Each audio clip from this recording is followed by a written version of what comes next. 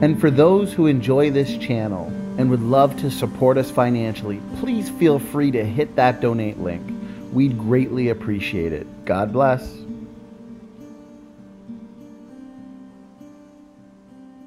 Are Bengal tigers related to Burmese tigers and all other tiger species? Are all known species of tiger related to each other and all other panthers? Are all panthers related to felines, scimitar cats, and other felids? Let us begin with the cat clade. We know the eight main lineages go back to the Pseudaelurus, which it descended from the Proailurus.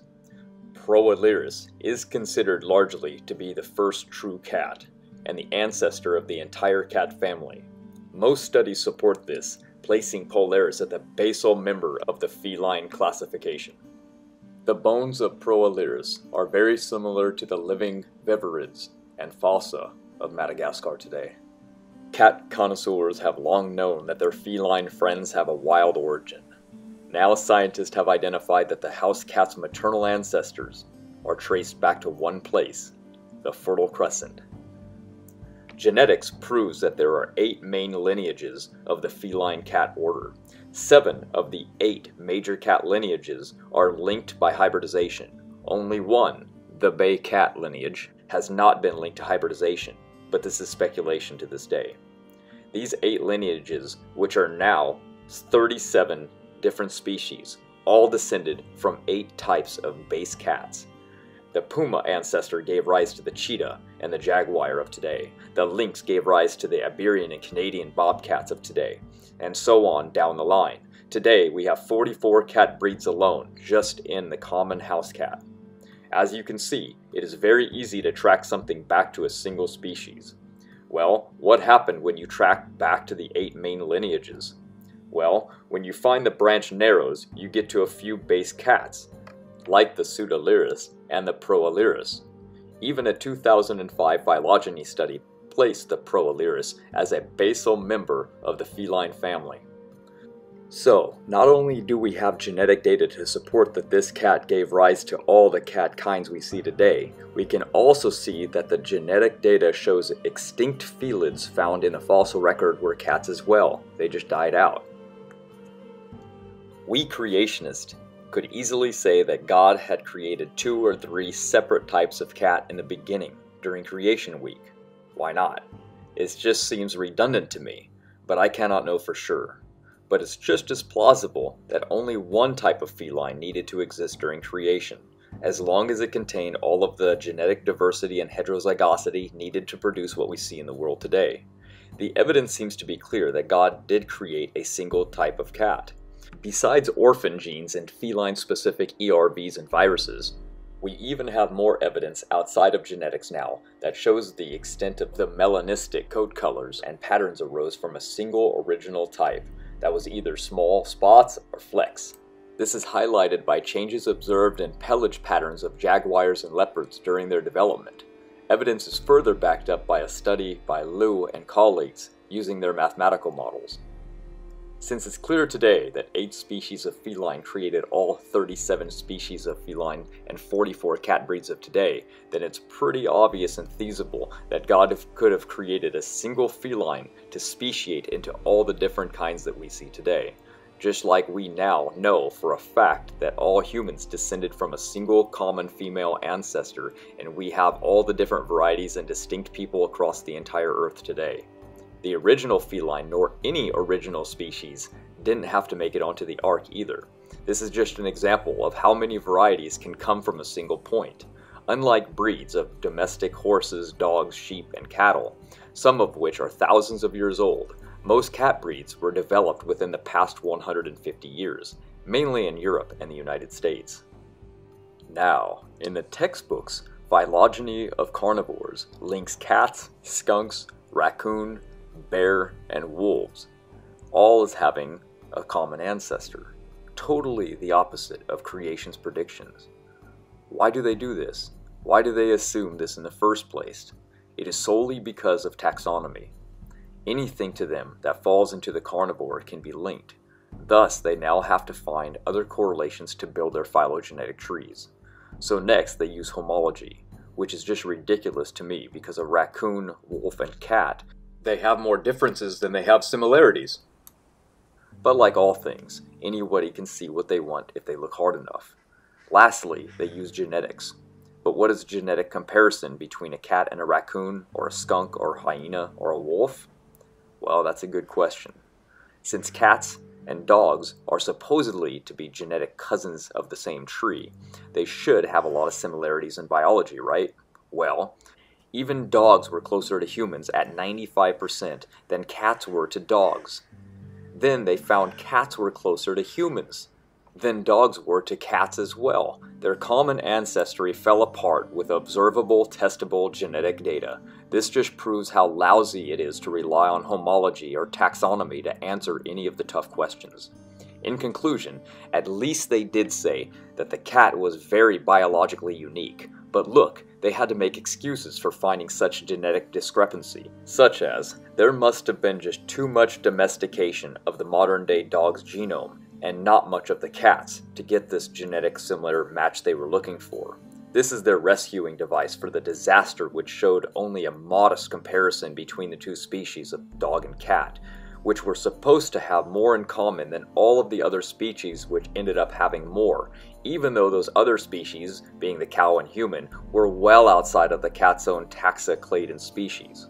Can a cat mate with a raccoon since they are supposedly a very close relative to one another? No.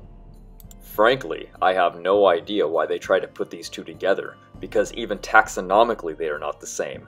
Cats are pure obligate carnivores, when raccoons are pure omnivores and always have been. It's the same with the skunk, omnivores, not carnivores. Their entire physiology and internal anatomy are entirely different. So obviously, tossing these animals in via taxonomically, saying that they are all pure carnivora is bias. They smuggle these animal species into carnivora taxa by using wordplay, altering the true meaning of carnivore, which should be meat-eating organisms which derive their energy and nutrient requirements from a diet consisting mainly of animal tissue.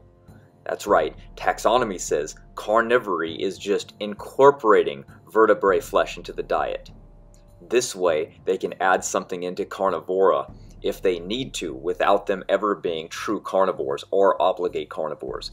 Basically, the only reason all these species made it into the carnivora group is because of their blade-like carnassial teeth match.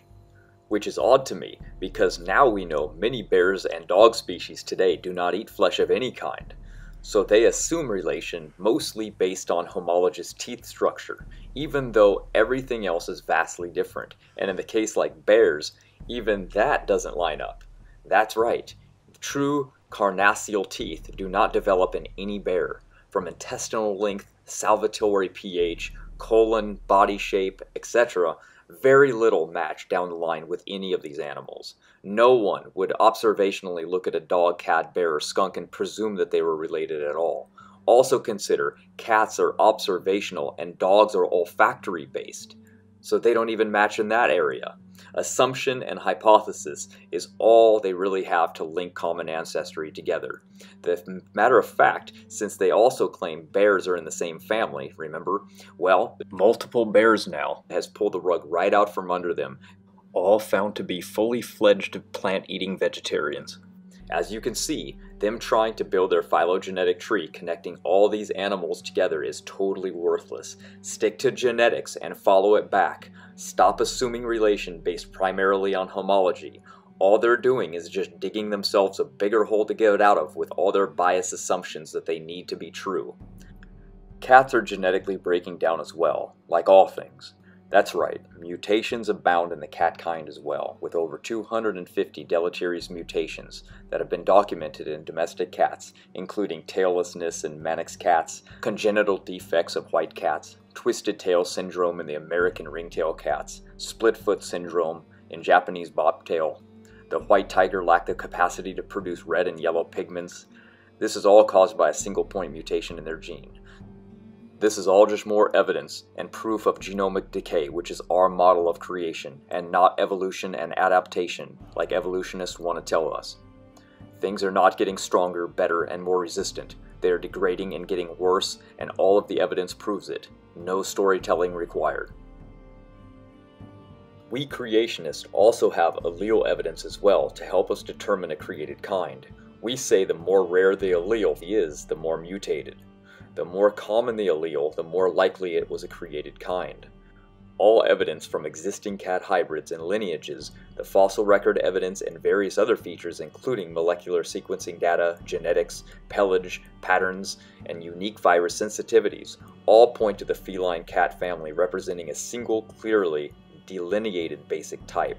It is reasonable, then, with all the evidence available, to say that all these felines arose from a single basal founded cat. And since then, they have passed through one or more adaptive radiations and speciations, exploiting their inherent morphogenetic potential to produce all the known existing and extinct species of cat. Thus, it is reasonable and logical for us as creationists to assume that there was a single cat that was created kind, because all of the evidence clearly shows this to be true. Now, could something prior to the Proailurus given rise to it? Sure, why not? But the fact remains no genetic data, or any data for that matter, solidifies that opinion. The Pro is the first cat, the first of its created kind, and it populated the entire world we see today. That is what the evidence shows, and that is what we say. What about nimravids, which are a genus of extinct scimitar or saber-toothed cats only found in North America, are considered not part of the cat order? I am confident that they are wrong on this assumption that nimravids do not belong to the cat order. The difference between nimravids and the feline order display only minute skeletal differences, indistinguishable in almost every area. This is why there was such a dispute. But calling an extinct cat a non-cat that is otherwise clearly a cat, simply for classification purposes and based solely on ossification bones in their ear, seems excessive and outright dishonest. Why do they do this? Well, because it doesn't match up with their phylogenetic tree that they made. So see how biased they are? If they need something to work, they will just make it up and place it where it wants regardless. Yet when it doesn't match up, they ignore it entirely. Nimravids were like lions and tigers today. DNA has proven that yes, they were cats. What happened is that they speciated from the basal ancestor branch and died off because of extinction. Most people do not realize how easy it is for carnivores to die off. And since we're dealing with the cat species that transition to pure obligate carnivores, and carnivores are very susceptible to extinction, then we can see why there are so many extinct cats back in the fossil record. And we do see this even in many cat species alive today, which have died out via extinction because they are carnivorous and ran out of food sources and pervasive selection from hyperdietary specialization. It is proven that hypercarnivory leads to increased vulnerability and extinction, even wear and cracking on their carnassial teeth may result in the death of the individual due to starvation. Carnassial teeth infection are common in domestic dogs and present as abscesses. As for the ecological niche of large carnivores, these animals typically make up only a small part of the ecological diversity of any given area. This fact directly relating to 1. the availability of food and success rate involved in catching something, and 2. territorially. If predators equaled or outnumbered their prey, while also having to contend with disease, injury, and other factors of mortality, the ecosystem would not be sustainable. Carnivores would eat themselves out of house and home, literally. Likewise, given the fact that carnivores do not migrate with herds, rather hold down territories, there is only so much room in a given area for carnivores of a particular species to exist. Given this observation, it is often strange when we come across mass assemblages of carnivores in the fossil record. To me, this is more proof that Noah's flood helped these things form, such as massive dinosaur graveyards. Besides, observation and logic tells us that this is not how animals behave in the world we see today, so why assume that such a large number of predators congregated back then? Think about it. If the group doesn't seem to be a family or a social group, why were they together? The Bible has no documentation on what any of the created kinds were, so we have to infer, using as much genetics as possible and even the fossil record, unfortunately. And this is really tough because almost all life was wiped out because of Noah's flood.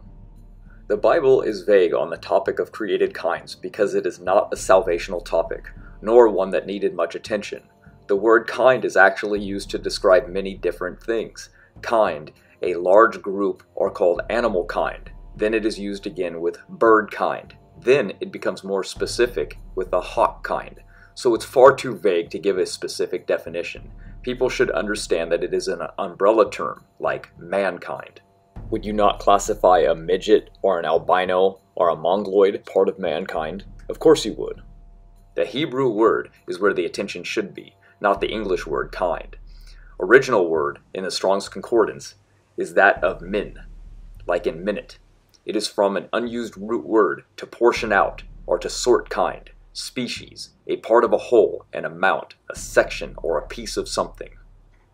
So this would mean that kind is a mixture between subspecies and order and falls somewhere between that category. I think the tree of life is an artifact of uh, some early scientific studies that aren't really holding up. So the, the tree, uh, you know, there, there, may be a bush of life. Uh, right. Oh, yes. Uh, bush. I don't like that word. Richard, oh, but that's only in. All right, I concede uh, that one. Yeah. yeah. So there is not a tree of life, and right. in fact, from our deep sequencing of organisms in the ocean, out of now we have about 60 million uh, different uh, uh, unique gene sets. Uh, we found 12 that look like a very, very deep branching, perhaps fourth domain of life. I think I'm done with you. Good, shut up. There's nothing to cry about, okay? The Caprinae subfamily is a convoluted mess to sort out, consisting of two species of Pseudois, six Serow, four Goral, one mountain goat, seven Ovis, eight Ibex, two Caucasian Tur, one Barbary sheep, three Tahr, and one Markhor.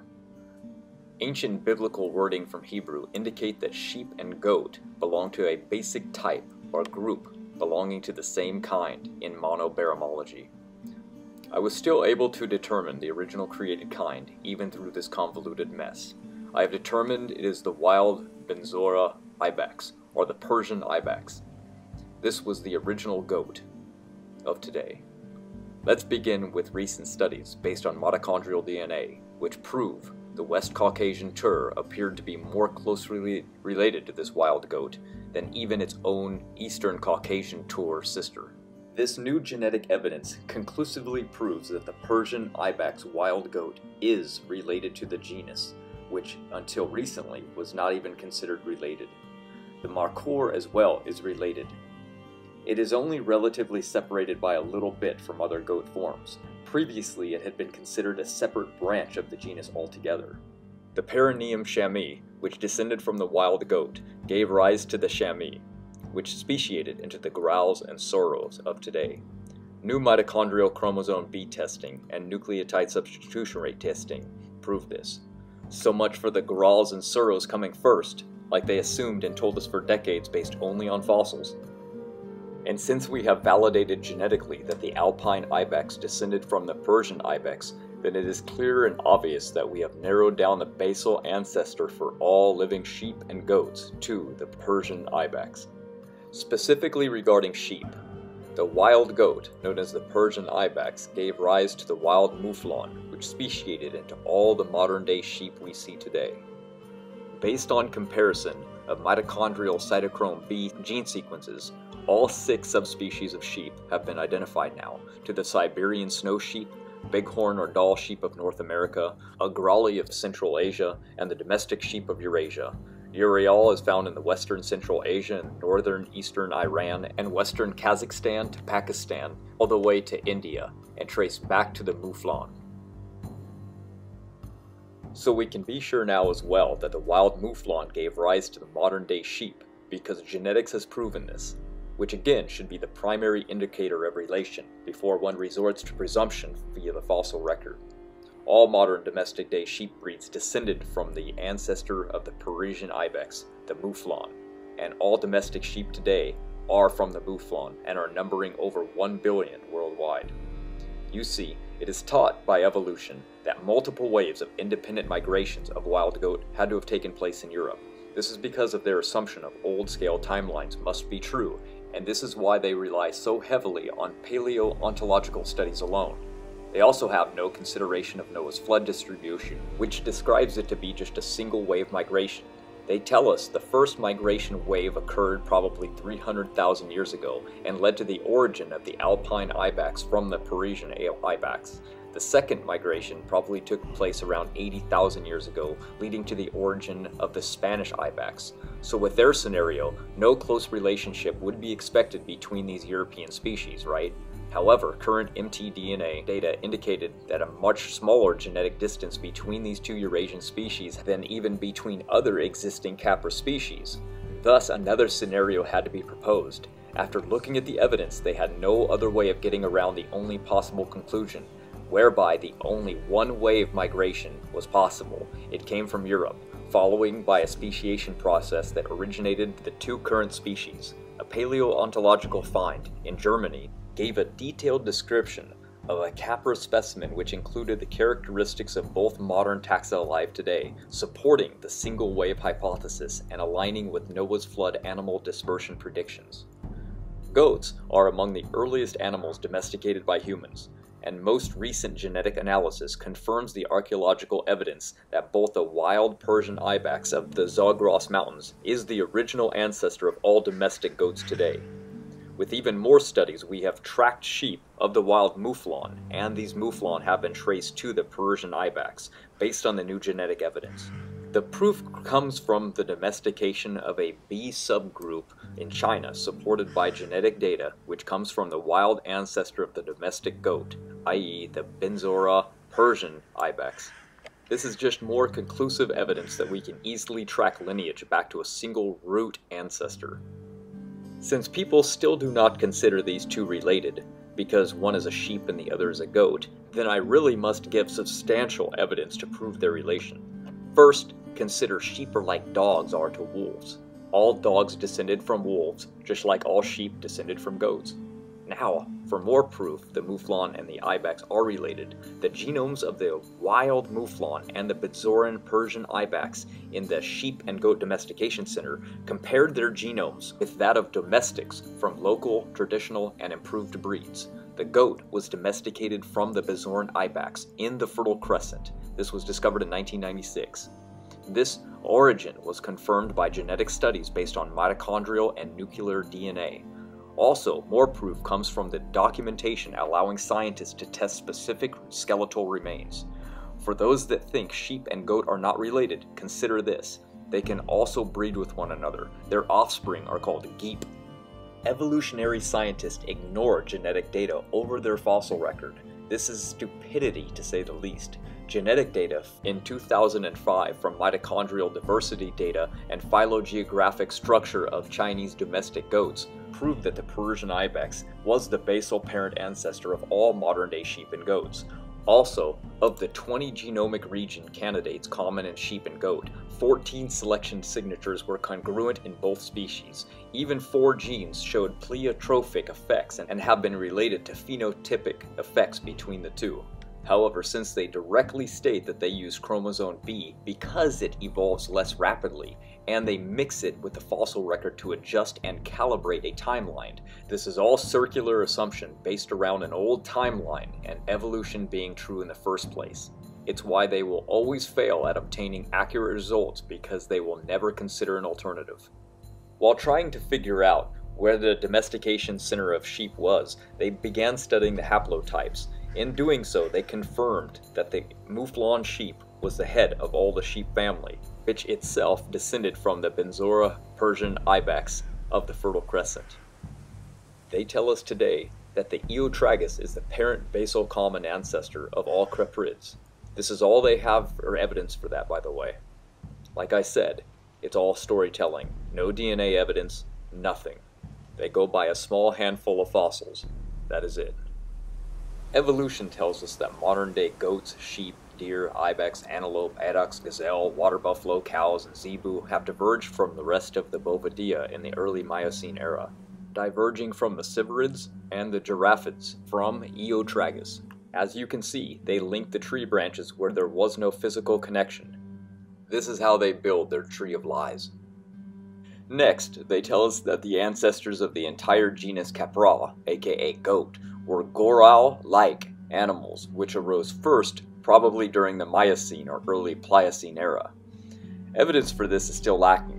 It is just assumed from a single set of fossils which they believe are gorals in appearance.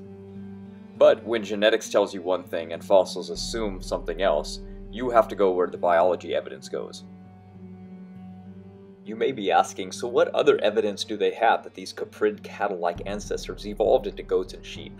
Well, taxonomy, that's all. Just classification, not biology, not genetics, or anything of value. I can understand that cladistics is a tool used to make a hierarchy tree of life and is the last line of defense used for lack of actual evidence and the only rescuing device used in their arguments when they have lost, but just repeating hierarchical classification names doesn't actually provide evidence or proof in any way, shape, or form, or that that one organism is the actual ancestor of another. It doesn't demonstrate evolution, it demonstrates whatever story you want it to be, or what anyone else wants it to be. There is no reason to assume that nodes of a cladogram represent punitive ancestors, and without actual evidence besides observational homology of fossils, they have no true evidence, only assumption.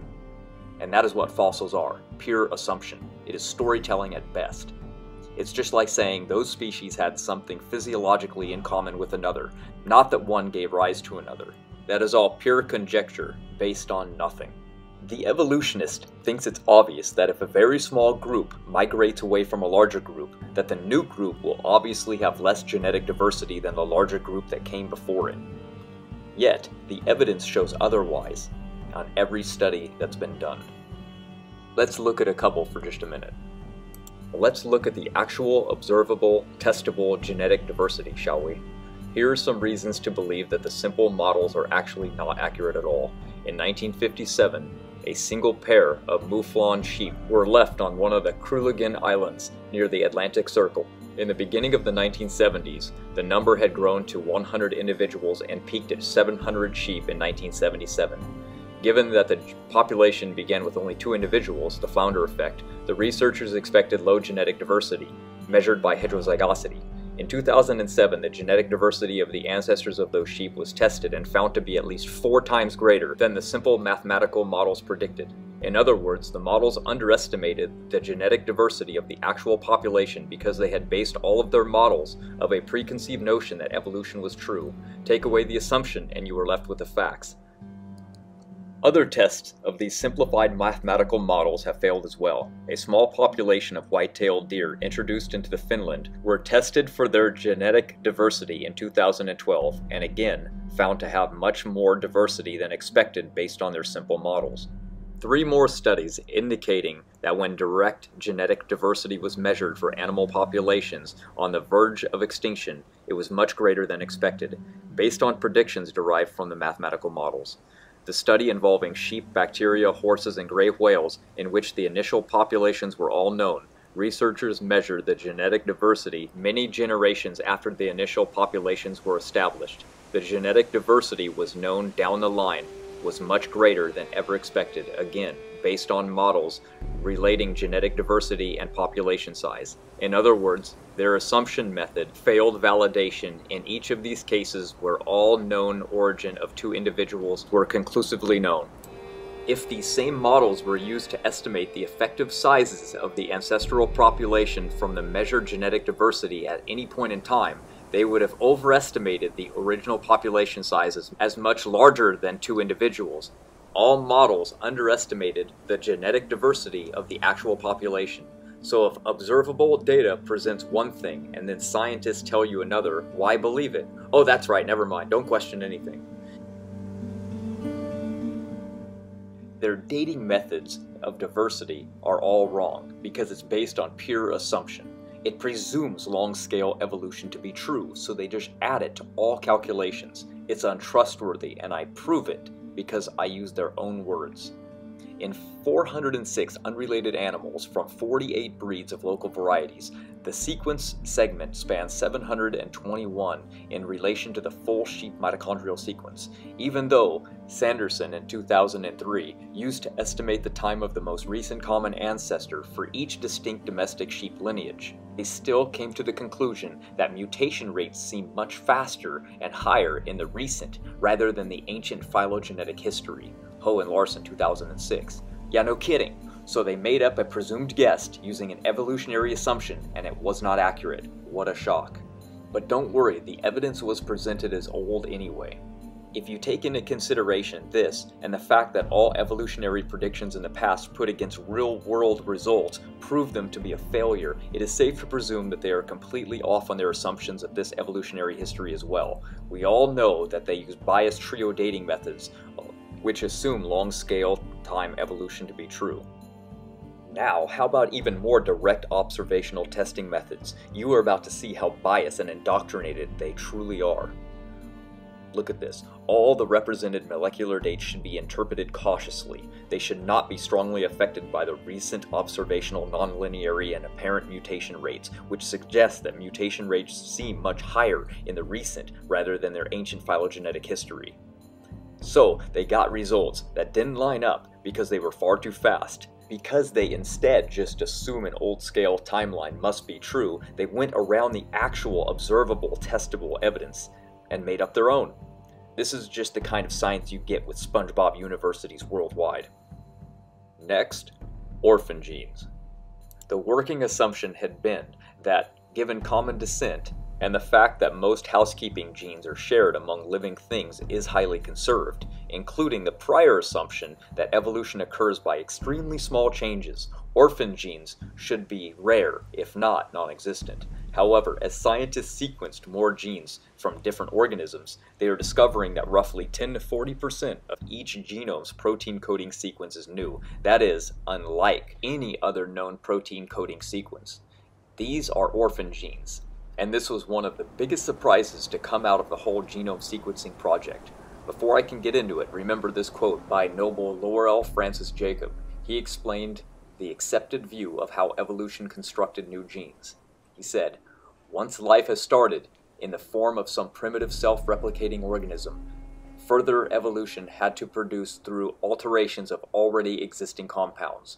As you can see, new genes must arise from pre-existing genes, leaving the signal of ancestry in their closely related sequences, because the probability of an alternative is basically nothing. Zero. That is why the discovery of orphan genes, which now show no homology to other sequences, came as a great surprise. It was assumed that getting new genes was hard, and once a workable solution was found, it would be preserved in the descendants that followed, the bulk of genes would have been invented early in evolution, and thus would be broadly shared. However, orphan genes are without detectable homologies in other lineages. Orphans are a subset of taxonomically restricted genes, which are unique to a specific taxonomic level. To put it another way, orphan genes differ from all other genes in that they are lineage specific, with no known history of shared duplication and rearrangement outside of their specific species or clade. This is yet another way we are able to identify what a created kind is.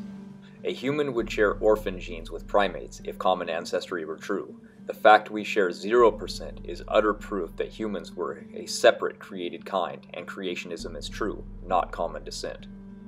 The more genomes that are sequenced, the more the proportion of orphan genes should shrink if common ancestry were true, as more and more orphans should be shown to be present in other genomes, but that has not proven to be the case. The mountain of orphan genes is growing with every new clade tested, not shrinking. Similarly, horizontal gene transfer was not borne out. The sister genes of orphans should have been found as sample size increased, reducing the proportion of orphan genes. As for gene loss as an explanation, well, it would have been too massive to be realistic to account for the pattern seen. The fact we find orphan genes can only decay but never give rise is also more evidence for our side as well. No testable, observable studies have ever proven that new orphan genes can arise in a species which already had or lost them. The only place this has happened is in the imagination of textbooks. It is also a fact that they are genes without detectable homologies in other lineages, so a fly orphan gene and a human orphan gene are very unique and identifiable. If common descent were true, we should see traces left behind of the orphan protein three dimensional structure in other species, especially those closest on a taxonomic level, and that is not what we see. Orphan genes are a wonderful for creationists and a nightmare for evolution. David Ussery, a biologist at Oak Ridge National Laboratory in Tennessee, and his collaborators compared 1,000 genomes. They found trying to build relations for phylogenetic trees is a waste of time because genetically there is not enough shared information between all life. They state, and I quote, there are different ways to have a core set of instructions, but of the 1,000 genomes available, not a single protein is conserved across all genomes. The 2018 gene research study looked through 5 million genetic imprints on 100,000 animal species throughout the world to find one of the most surprising discoveries about evolution to date that they have all been wrong. Evolution predicted that everything evolved up from a single cell, yet this new research looked at a selected portion of DNA from a hundred thousand different species by hundreds of different researchers from around the world they found a telltale sign showing that all animals emerged at about the same time. Not only that, the study also found, rather unexpectedly for evolutionists, that species have clear genetic boundaries and nothing much in between. They go on to say in the study that humans and animals arose at the same time and there are genetic boundaries. Thatcher goes on to say if individuals are stars, then species are galaxies. They are compact clusters in the vastness of empty space. The absence of in-between species is something that also perplexed Darwin, he said. This massive genetic study, which reveals that all life on Earth, including animals, birds, insects, and humans, that all appeared at the same time, should be cause for concern for the evolutionist. Their rationalization and excuses will come soon, but even the researcher himself stated the conclusion is very surprising, and I fought against it as hard as I could. How does one explain that fact that 90% of all animal life, genetically speaking, is roughly the same age? Their answer? You guessed it. There must have been an environmental trauma causing a bottleneck that caused all living species to reduce to just a few living number of individual males and females to repopulate. Pfft. Ridiculous. So what they're trying to tell you is that this so-called bottleneck for it to occur had to reduce all 100,000 different species that they tested to a single maternal lineage to replace all the others to carry the entirety of the linked genome along, thereby resetting mitochondrial variation to zero. Does that sound logical at all? Even in their own peer-reviewed paper, they state that it's not logical. They say, based on contemporary mitochondrial sequence data alone, it is impossible to distinguish an organismal bottleneck from mitochondrial and Y chromosome specific lineage shortening since both mechanisms make the same prediction of a uniform mitochondrial sequence in the past. So they know and say that they cannot know this, but they will tell you that it happened anyway and expect you just to believe it because. In conclusion, they don't have evidence for this so-called bottleneck, not even their own fossil record shows any evidence of one, and their long time period is all extrapolated from an assumption that a common ancestor exists. They go on to say, for the planet's 7.6 billion people, 500 million house sparrows, and 100,000 sandpipers, genetic diversity is about the same. They would never submit to the actual evidence of the research, which shows that it's obvious that all life arose at the same time. As Kuhn points out, the unresolved arguments tend toward rhetoric. Like all scientists, they struggle to find an example or excuse to puzzle an explanation together before they commit corporate suicide for discovering evidence contrary to the evolutionary theory. They directly state, this study is one of the clearest, most data-rich, and general facts in all of evolution that the existent population, no matter what the current size or similarity to fossils of any age, has expanded from mitochondrial uniformity. They even directly state that they use the fossil evidence of mammalian evolution in Africa theory to infer an old age of 100 to 200,000 years based on nothing but assumption, and that sequence analysis has been interpreted to suggest that the last ice age created widespread conditions for a subsequent expansion. Because no actual evidence was seen for evolution, they just had to presume it happened and conclude this by stating the vista of evolution is best seen from the passenger seat. Why? Because they have no direct access to the driver's seat to witness linear macroevolution occurring. This study was just a perfect nail in the coffin for evolution. Ontologists predicted an ant fossil that had features of wasps in the Cretaceous, and that was confirmed as Sphecomyrma. For one thing, this species was never found to ever have any wings. No Sphecomyrma hamuli was ever found around the anterior portions. As were wasps, their fore and hind leg wings are hooked together with groups with tiny little hooks called hamuli, which ants do not have. Also consider, according to evolutionists, it was believed that this evolutionary age of 79 to 92 million years ago, there had not yet been any complex social organizations of ants into colonies. However, with careful analysis of these specimens, it reveals the presence of the metapleural gland, which is only found in ants and only those that live in colonies. These glands secrete antibiotics which prevent bacteria and fungi entering the colonies. Ants were always ants. They never transitioned into flying, nor became wasps. Not a single drop of observational or testable science proves that ants became wasps. Orphan genes. The working assumption had been that, given common descent, and the fact that most housekeeping genes are shared among living things is highly conserved, including the prior assumption that evolution occurs by extremely small changes, orphan genes should be rare, if not non existent. However, as scientists sequenced more genes from different organisms, they are discovering that roughly 10 to 40% of each genome's protein coding sequence is new, that is, unlike any other known protein coding sequence. These are orphan genes, and this was one of the biggest surprises to come out of the whole genome sequencing project. Before I can get into it, remember this quote by Nobel Laurel Francis Jacob. He explained the accepted view of how evolution constructed new genes. He said, Once life has started in the form of some primitive self replicating organism, further evolution had to produce through alterations of already existing compounds. As you can see, new genes must arise from pre existing genes, leaving the signal of ancestry in their closely related sequences, in 1924, the Doheny Scientific Expedition ventured into the Havasu Canyon region of the Grand Canyon. The expedition report, penned by Samuel Hubbard, is a short but fascinating read. Now, this short expedition brought multiple enigmas to the attention of the scientific community. One discovery of fossil footprints was only briefly mentioned in the report saying that Mr. Gilmore was at a loss to explain these carboniferous footprints. That Mr. Gilmore was Charles W. Gilmore, who gave more detail in the Smithsonian Miscellaneous Collections. Mr. Gilmore showed the footprints which bore a clear resemblance of horse footprints to the local Native Americans to see what they would say about them.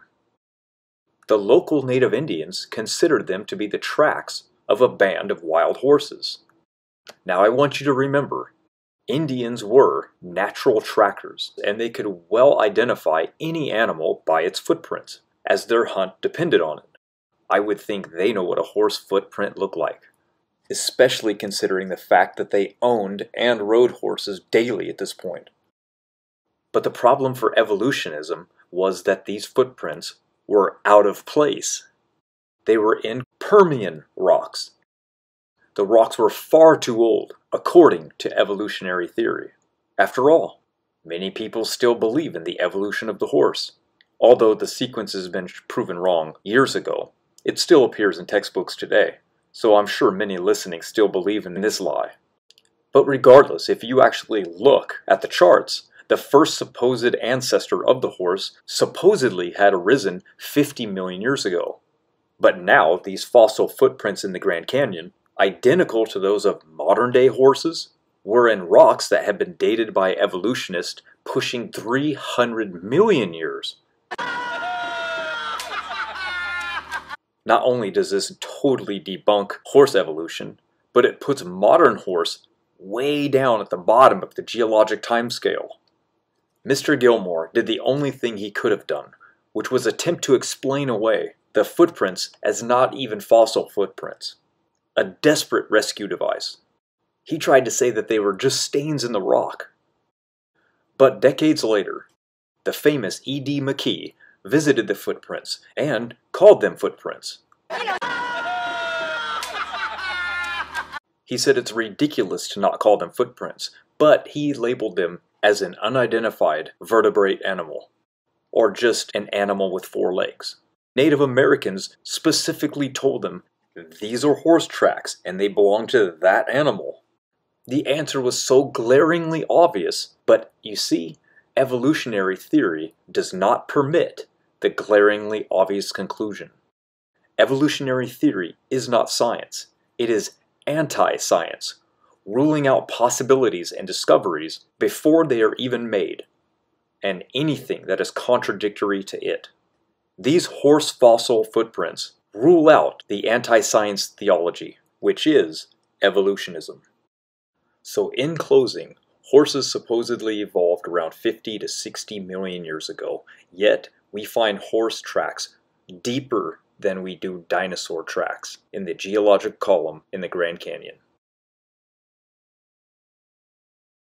But it gets better. The Doheny expedition also documented the fascinating petroglyph of what they even labeled as a dinosaur. Hubbard commented that the photograph of the dinosaur, petroglyph, had been shown to a scientist of report, who then remarked, It is not a dinosaur. It is impossible because we know that dinosaurs were extinct 12 million years before man appeared on the earth. Gotta love how they know it's a fact, even though the very date that they quote in this is so far off by any evolutionist standard today. Now, they tell people they know that dinosaurs became extinct 65 million years ago. And then when that date changes, the new one will be a fact. The auroch was a created kind. It is the basal ancestor of all domestic and wild cattle we see. The Germanic people of Europe referred to it as Ur, meaning the wild ox. It entered the English language from Germany as aurochs. The species survived in Europe until 1627. The oldest of cave drawings depict these first beasts. Before it died, it gave rise to two branches of all the cattle we see today. It led to the zebu and the Bali cattle, which ended up popularizing all of Indonesia. The other is related to the Eurasian subspecies, leading to the taurine cattle. A mitochondrial DNA study suggests that all domesticated taurine cattle originated from about 80 wild female aurochs in the Near East. Other species of wild bovines after this point were also domesticated, namely after the wild water buffalo, gaur, and wild banteng. All of these can be traced back to a single source, the auroch. Even modern day species have ancestral alleles present. In this study, the focus is on evolutionary dynamics between bovids and bovine lentiviral proteins to find relation between species. They determine the sequence of three genes in the genre of buffalo, bos, and bison, and show that the bovine gene A3Z3 is under strong positive selection. They conducted a combination of studies consisting of molecular phylogenetics, structural biology, and experimental virology. What they found was that all of them are in the same family. This means that the aurochs are the parent basal ancestor of the entire bovine and bison family. Now, let's talk about bovine diversity for a minute. There are two types of water buffalo today the African Cape buffalo and the water buffalo. There are 74 breeds of domestic water buffalo today, but only small numbers of wild water buffalo remain. The wild water buffalo is sometimes referred to as a different species, B. arni, but it can interbreed with other domestic water buffalo, so it is still a debate in the community. There are two types of bison, European and American. Four of the popular bovine species today became at least partially domesticated, all of which came from western or southern Asia, the cow, yak, banteng, and gayal. Recently, they took all the cattle varieties in India and tracked them back using analysis of mitochondrial, Y chromosomal, and microsatellite DNA. Two bovine species contributed to all of the Indonesian livestock, zebu and banteng, aka Bali cattle, which are the ancestral populations of those alive today, which descended from the aurochs and zebu mating. Remember, domestic yaks, gayal, Bali cattle are not direct descendants of the aurochs. They are way down the ladder and a far more current species. 73 modern cattle populations carry the ancestry of the sequenced auroch genome still to this day. The Bos acutifrons is called the ancestor of the aurochs for one reason only, because it was found in the Pleistocene age strata of India, which they say goes back 2.6 million years or so, or as recent as 11,700. So it's basically just more storytelling coming from SpongeBob universities. I mean, see for yourself, use your own eyes. Look at the skeletal remains. They look absolutely identical to one another. The only thing that separates them is the geologic column. Modern day bovines are a genetic mess. I mean, look at the domestic yak, or wild yak for that matter. The domestic yak has a total of 3,187 deleterious mutations per individual, and the wild yak has a total of 2,067 deleterious mutations. What a disaster. This is utter proof and just another example in the long list of species alive today with massive genomic decay. Listen to what Julius Caesar writes in the Book of Gallic Wars about the Aurochs. These are a little below the size of an elephant, and of the appearance, color, and shape of a bull. Their strength and speed are extraordinary. They spare neither man nor wild beast which they have espied. And again, just like with cat or the feline, we have bovine specific ERVs as well. As you can see, there is no evidence anything came before it. All evidence points to bovine remaining bovine from the beginning of creation until now. Aron Ra, you have nothing to back up your arguments besides storytelling and lies. You should admit that you're a failure and just move on. I should have known better. Pond Scum to People Evolution, as I've said before, is pure imagination. It's science to say that dogs produce dogs, but it's not science to say that dogs, pine trees, bacteria, and whales are related. There's a lot of imagining going on. Evolutionists imagine that mutations make something new and better. Evolutionists imagine that all these small scale variations will eventually add up to make something we don't actually observe. Time, as I've said before, is the hero of the story for the evolutionist. Evolutionists and SpongeBob should start a private school together. This is the perfect way for evolutionists and like minded individuals to teach each other that dinosaurs and carrots are related through common ancestry. Stay tuned for a thorough tour of SpongeBob University. But welcome to SpongeBob University. Evolutionists hope, they dream, they imagine. Only the most imaginative of evolutionists are accepted requirements for those that believe they have the wild imaginations necessary for enrollment at SpongeBob University, just a few of them. You must believe that natural selection and mutations can explain all new innovations, structures, body plans, and novel information, which we actually know cannot actually be the result of natural selection acting upon random variation and random mutations. Evolutionists imagine these things, even though empirical evidence tells us that neo Darwinism lacks incredible explanatory power in regards to the origin of phenotypic complexity, anatomical novelty, and the origin of non gradual modes of transition, abrupt fossil appearance, for example. Students of SpongeBob University must also imagine that they share ancestry with apes. Grandpa, is that you? Even though all empirical evidence suggests otherwise. I, I, wish I could see Aron's eyes right now. I bet they're just bulging out like that cartoon. yeah. yeah. The pawns. What the, was the that argument? To people. The pawns scum to people. Dude, even lost me on Yeah, that yeah. one. I don't know. All right, everyone, let's kick this off. This is Aron Ra debunking our video, debunking his phylogeny challenge. Let's get this started. in this first one because I know it's three hours worth of mindless stupidity. Wow, he must have gone through every little bit of that video, piece by piece, to complain about it being three hours. Let's see if that's true, shall we? Of eyes, because their eye type. Have you heard? so uh, have you heard anything to do with this, Arn? Hadn't been thought of. No. Okay. Never heard of it.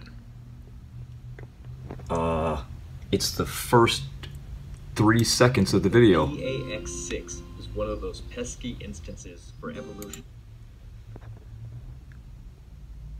I, I, I clicked on like two or three spaces in it, and I only watched it a few seconds at a time. Oh, okay, there we have it. That's the truth. He only watched a few seconds here and there on a video that he came on to debunk. Brilliant. Have you heard? Uh, have you heard anything to do with this, Arn? Hadn't been. Pax six is a master control gene. So yeah, I don't I don't see I mean he's getting the I, I think he's getting the science correct, I guess, but I don't think his conclusions follow. I don't think I've ever heard of Standing for Truth. Raw Matt sounds familiar.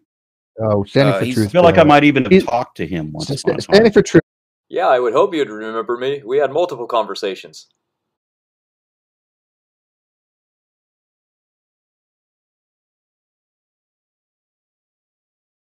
None, But let me guess, maybe the most popular? Well, that's argument of authority, and if we're going to use that argument, then atheists are toast as well, because your pathetic 5% of the world's population trying to say that the burden of proof is on the 95% is just Oh. stupid. The masses don't Oh. need to convince the minority of anything. That was a Also, slap how right can there. You call evolution or species. was a it, it was a tradition that is now being discarded that you would separate humans from apes and uh, apes from monkeys, saying that you know that, that and and this was this is one of the problem with a, a number of traditional scientists still haven't understood. So Aron just said that traditional scientists, even those today, just don't understand. That's what he's trying to tell you. He knows better. But yet when we try to correct science, oh no, we can't do that. See the problem? See the double standard? So when a creationist says that man and apes are not related, we're lying. But when a scientist says that they're not related, they're just mistaken or confused. Got it. When they say things like evolution only deals in biology, then they go on and use geology, paleontology, earth scientists, and more to strengthen their argument for evolution and to help them build their phylogenetic trees, saying to others, See how all fields of science help prove evolution? It's called consilience. But yet Hold they on. get very upset when a creationist does the same thing. No, no, no, no, no. No, no, no. I'm not upset that evolutionists use paleontology and geology. I'm upset that during arguments and debates, I'm not allowed to use them. Everyone always says evolution only has to do with biology. If you they didn't even understand what I was trying to say. They didn't listen. They didn't even start at the beginning. That was the problem. When they started looking recently, they found that turtles have no shells when they spend their life in the ocean. The longer they spend their time What- in the what? ocean, the less they need a shell. Since I don't think Aron Ra either believed me or didn't understand what I was saying, I guess I'll post it here. This is the National Geographic website, who also stated that once turtles hit the water, their shell size reduces. The leatherback turtles themselves don't even have hard shells. It's not. There are two different cl- uh, cladistics uh, uh, definitions for turtle. They're still debating. on which No, one there are not. They Not think there they're is either not two different. Uh, yeah, there are two different cladistic classifications for turtles, Aron. I don't know why I'm teaching you this. This is your specialty, for God's sake. Which major taxonomic group, or clade, of reptiles that turtles belong to? Now, most of reptiles fall under the clade known as Eureptilia, or true reptiles. This includes stuff like lizards, snakes, dinosaurs, and birds. But there's also Parareptilia, or side reptiles. These are some of the earliest reptiles, all of which are now extinct, like the spiky cheeked procolophonids and the mesosaurs, which were probably the first aquatic reptiles. Now, by and large, which clade you put turtles in depends on where you think its shell came from. Turtles' exact place among the eureptiles isn't settled either. A lot of researchers think they're more closely related to the clade that includes animals like crocodiles and birds, but others argue that they're closer to a different group that includes lizards and snakes. Hopefully, it won't take another 130 years for an answer to that debate. A bacteria can never produce a non-bacteria. It never happens. We didn't evolve from bacteria. We're not bacteria.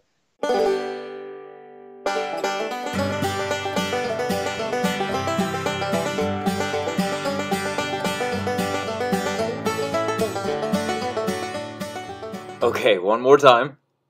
A bacteria can never produce a non-bacteria. It never happens. We didn't evolve from bacteria. We're not bacteria. You hypocrite, you teach frogs came from an amoeba. I know of the, the earliest fossil bats are neither giant nor burrowing. Listen to this. And pugs and chihuahuas are still dogs. They have never started to becoming a whale like evolution claims can happen. And evolution does not claim that ever. Where in the world, Okay. Matt, would you think evolution claims anywhere that a whale, whale, d- yeah, Cetacea, could, could, could evolve Oh, from, because whales from, from supposedly canine? evolved from a land mammal. The tale of whale evolution is a story about one of the most remarkable transitions in the history of mammals. The fossil record shows how these animals transformed from tiny four legged plant eaters no bigger than house cats to the seafaring giants we know today. This change was dramatic and kind of fast. Evolution does not say a anything. A individual anything turns into a individual anything Right. either. Paleontologists in Kashmir, India found the fossils of a 47 million year old hoofed creature the size of a house cat that they named Indohyus. It Evolution does not say a anything. a individual anything turns into a individual anything either. Actually, it specifically says that. Back in SpongeBob La La Land. That's what the phylogeny challenge is, is getting them to identify what the fuck is a created kind. Said Okay, honeybee I'll and take flower are a created kind. How is honeybee and flower a single created kind? That doesn't even make any sense.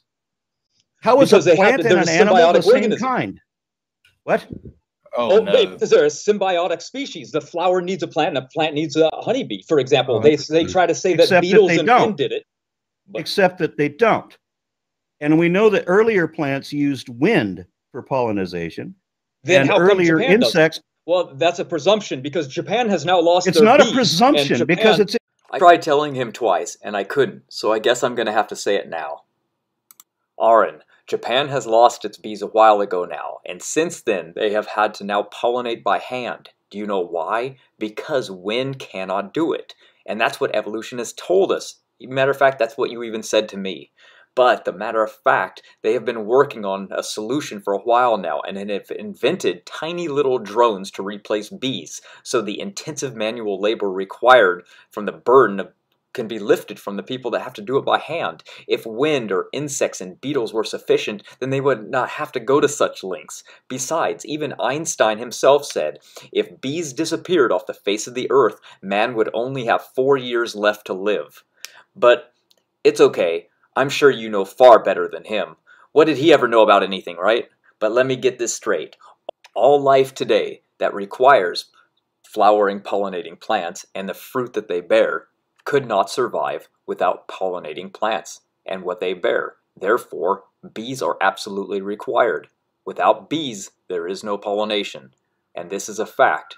And now we know it's a fact because of the devastation that is happening in China and Japan because of the dwindling bee population.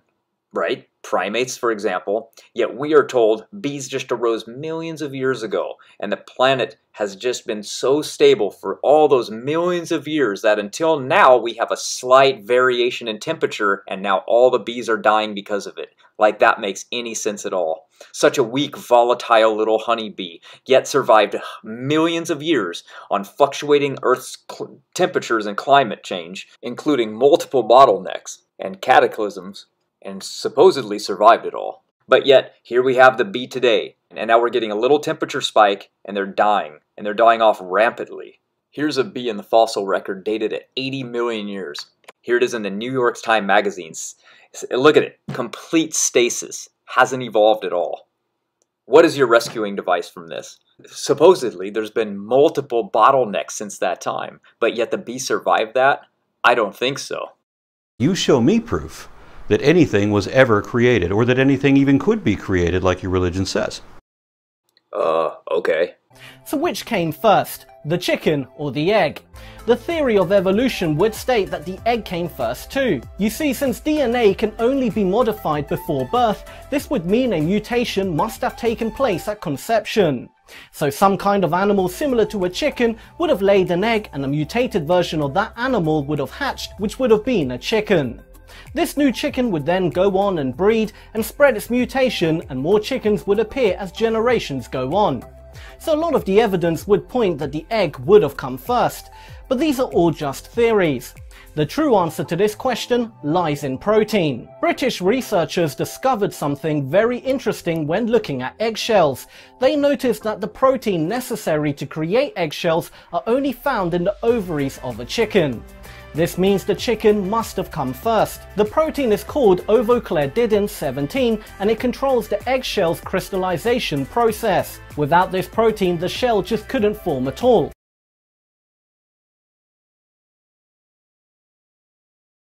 Next, we have creation of the universe, which obviously there was a beginning, contrary to the many other theories where they tell you that the universe has always existed.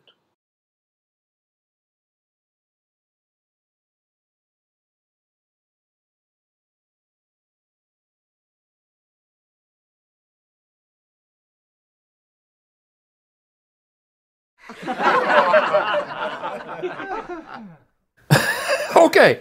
We have a way to determine whether or not our model, we can do this. We can go, what are the odds that all human beings are related by 99.9%? What are the What are odds the that, odds? All, uh, that human Okay, beings then, have uh, no, no, three we're- we're not gonna do that this are because found I understand how the- exact- So to actually help them understand some of our models, some of our predictions, some of our thoughts on why we actually believe that the Bible to be true over, other religions, I was going to play what are the odds game. I could not get out one answer without being cut off. So now I will finish that for you.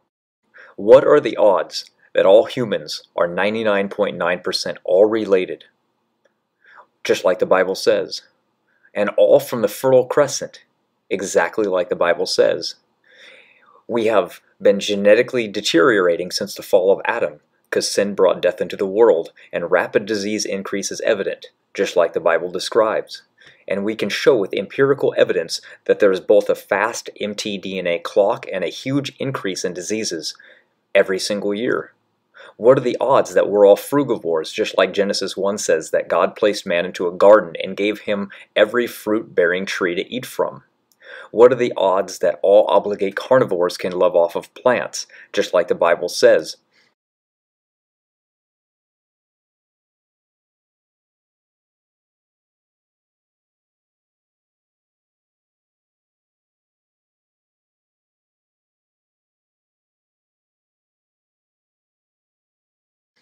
What are the odds that the best genetics are tracked to the Middle East, just like the Bible says where man came from?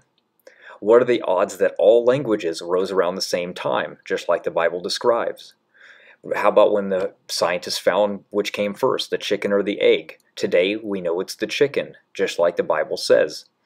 Again, what are the odds that most religious texts worldwide tell us that man has lived to extreme ages during what is known as the Golden Age? And now we know that language cannot arise on its own, because just like the Bible tells us, God taught Adam.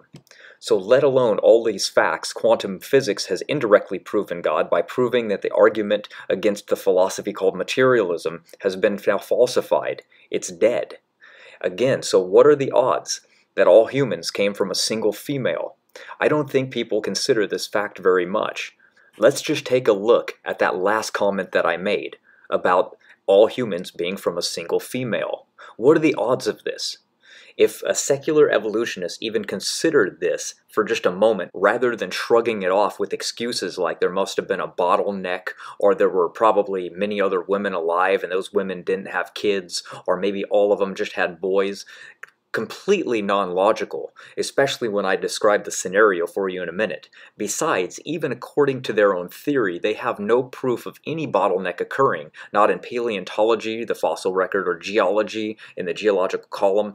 So, what evidence do we have for this belief of a bottleneck? They don't have anything for it. That's your answer. A failed hypothesis is all that they have. You see, this is the real problem. According to the evolution theory, about 100,000 to 200,000 years ago, there were about 10,000 to 30,000 individuals. That's an estimate. Now let's just say half were women. That leaves us with 5,000 or 15,000, whatever you want to go with. Let's just say that the average is 10,000 for this debate. So now we have 10,000 different lines of possible mitochondrial DNA to be passed down. Yet we only have one today. What are the odds of this? That's highly improbable. But if you start with the biblical account, this lines up perfectly as to what we would expect and what we do see. There should be just one line, and there is just one line, exactly what the empirical evidence shows. Vast correlations line up directly with what the Bible says, and this is undeniable evidence. You know what's interesting? When the Human Genome Project mapped the human genome, they said there's only one race of people. You know what that confirms? The Bible. Because we all go back to Adam and Eve, we're all one race. Uh, so I don't think it confirms the Bible.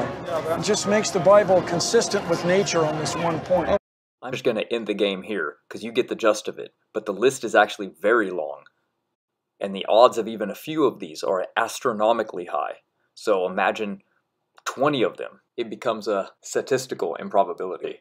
I have yet to see any other animal, especially primate even, ever speak language. Basic communication skills like nouns, sure, but no linguist would ever say that a fish or an ape have a language. As I am looking at my window now, people are driving by in cars. I am yet to see any monkey behind the wheel Have you? Mmm, strange. What about food? We make food. We process food. I'm yet to see any animal making food. How about you? How about music? Any animals creating any instruments to play? Not that I've ever seen. What a surprise. But that's just the obvious observation from looking around. Even biologically, we are not the same at all either. And this is what I was trying to tell Aron last night, however, he was not listening. Ask yourself, why do they still present evidence as though it's somehow logical that we have lost everything that was good for us, like the different kinds of muscle strength that primates have? They are twice as strong as we are, easily. The video that you're watching right now is going to prove that.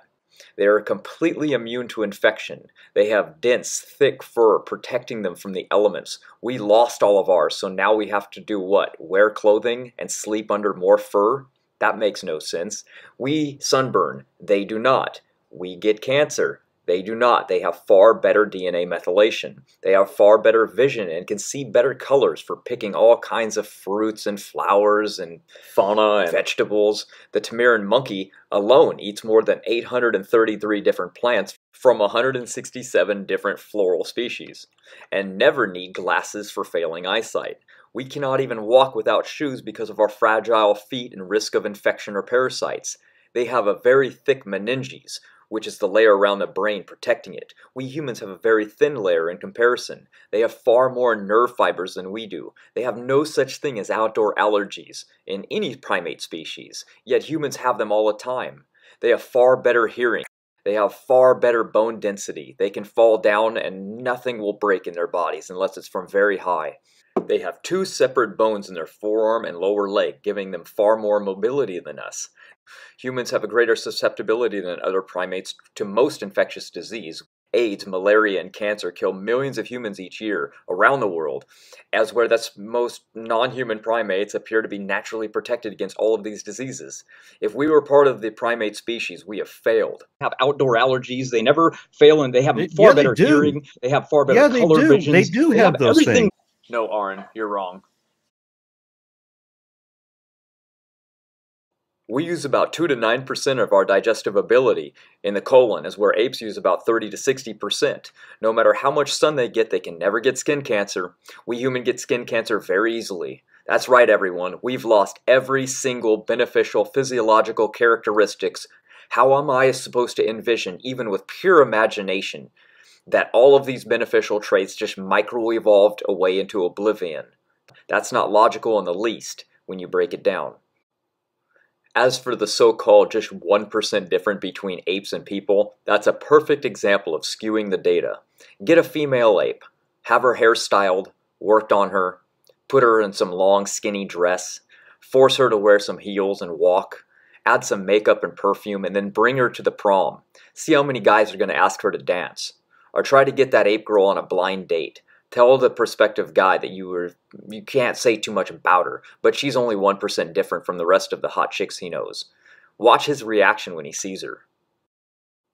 Evolution teaches you to drop common sense on the floor as soon as they give you another science fact. I don't have enough faith to believe that every single physiological benefit has micro-evolved out of into oblivion for no reason at all. So evolution isn't guided, yet it's predictable. But then if all evolution, therefore everything is predictable, yet falsifiable, they don't even realize they aren't being logical. So again, the evolutionist would first have to deny their own double standard theory of evolution, which states that evolution is a totally unguided process where mutations are random and things just need to survive, and yet at the same time it also means survival of the fittest, where only the strong survive and the strong genes breed out the weak, totally contradicting each other. It's shocking they don't see it. Look, this whole business about genetics can be easily solved and refuted with logic. The fuss over 1 or even 50% is not the issue. The matter comes down to this. Would you let your daughter or sister have sex with an ape? Now, come on, be honest. You were probably grossed out by that, even a little, right? There lies your answer. There's something a whole order magnitude different between a human and an ape. We're not the same and not even remotely similar. Stop being crazy and stop listening to the so-called experts who want you to drop common sense and I want you to be logical. Case closed. Is there any proof that God designed man to be this way? Oh yes, Anatomical observation and comparative anatomy studies prove this as well. Omnivores, for example, can consume both meat and vegetables raw very easily, where both are harmful and hard to digest for humans in their natural form. Both require some form of processing or cooking. All omnivores have sharp fangs and bladed, shaped crushing molars. Omnivores swallow their food after a short, simple crushing. Omnivores have low jaws, which are always embedded inside of the top. Omnivores have no lateral or forward jaw mobility. Omnivore saliva is acidic, with no ptyalin. Omnivores' renal secretion of uricase. Omnivores secrete acid urine. Omnivores all have strong hydrochloric acid in their stomachs. Omnivores require no fiber for peristalsis. Omnivores' facial muscles are very minimal and allow a wide mouth for a gap for food. Omnivores are able to maximize and metabolize large amounts of vitamin A and cholesterol without a problem. Humans have major problems with both. Omnivores are fueled by fat and protein. Humans are carbohydrate based. Omnivores' intestines are always three times the length of their body. Omnivores all have short colons with smooth and alkaline by nature. Omnivores' jaws are angled and not expanded. Complete digestion is within 6 to 10 hours. Omnivores' examples are hogs, brown bears, raccoons, primates. Omnivores are everything eaters who thrive on all raw foods from leaves and trees and stems to ground roots natural surroundings, ants, and even each other if needs be. A frugivore, on the other hand, has complete digestion in about 12 to 18 hours, with a long intestinal sacculated colon.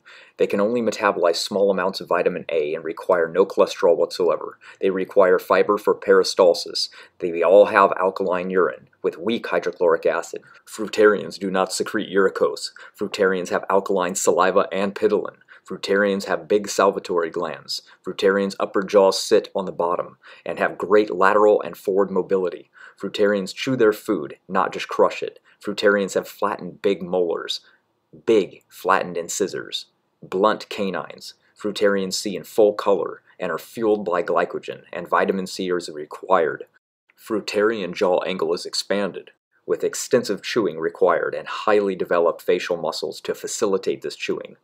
Fruitarians consist of several types of species, like bats, the owl monkeys, humans, a number of flying foxes, and many passerine birds, toucans, and some species of parrots. Now consider this as well. Human cells have receptors for malic acid, citric acid, ascorbic acid, ascorbyl palmitate, and polyphenols. These are all elements found only in fruits, and they are requirements, yet nothing in the human body requires anything from an animal source. Think about it. If it was a baby, they would need meat to survive, yet this is not the case. That is actually disastrous for a child, as where we absolutely require vitamin C and absolutely require fiber and weak organic acids from fruit. Meat is a class 1 carcinogen worldwide. Meat cures no known disease of any kind, only causes it. Only plants can cure people. If you think about it, by all means, name a medicinal chicken or a cow. I'll wait. Another way to tell if a species is fruitarian is to map the area of absorptive mucosa in the gut versus functional body size. Even in 1971, a study done by B.J. Myers was published in the South African Medical Journal, describing how lipid profiles and glucose tolerance improved on a particular fruitarian diet. In a further trial in the study, body weight and overweight subjects were showed a tendency to level off at the theoretical ideal weight. Humans are frugivores by design, but when we look at the ability to eat other food groups groups like an omnivore through the process of cooking skills, then it's possible. Without cooking, we are not able to survive as a raw omnivore. If you think you can, by all means, please go outside, pull some leaves off trees, catch an animal wild, raw, and eat 'em up, pull some grass out of the ground that you're walking on, and feast. See some wild legumes growing? No problem, pull those suckers off and eat 'em. You'll be dead in no time. You are not an omnivore, you are a frugivore just like God designed us to be. I have been one since 2002. And no, I do not supplement. Evolutionists actually believe in the same thing we Christians do in this regard, even if they don't know it or not, that early man was a frugivore. Because think about it, either man was placed in a garden created for the fruit of the trees like the Bible says, or man evolved. Well, if man evolved, what did he do before he invented fire? That's right, he ate it raw. Raw fruit. It's obvious, because you can't run around eating raw meat. It's proven to be extremely dangerous, and meat is a class 1 carcinogen no matter where in the world you live. Besides, look at the scientific studies what happens when something eats meat. Let's check that out. Yes, vegetarian IQ in adults and kids are both higher. Since the smartest people on earth have also been vegetarians, then it makes sense. Einstein, Tesla, Isaac Newton, Pythagoras, Plato, Da Vinci, Voltaire. So observation shows that plants are better for IQ.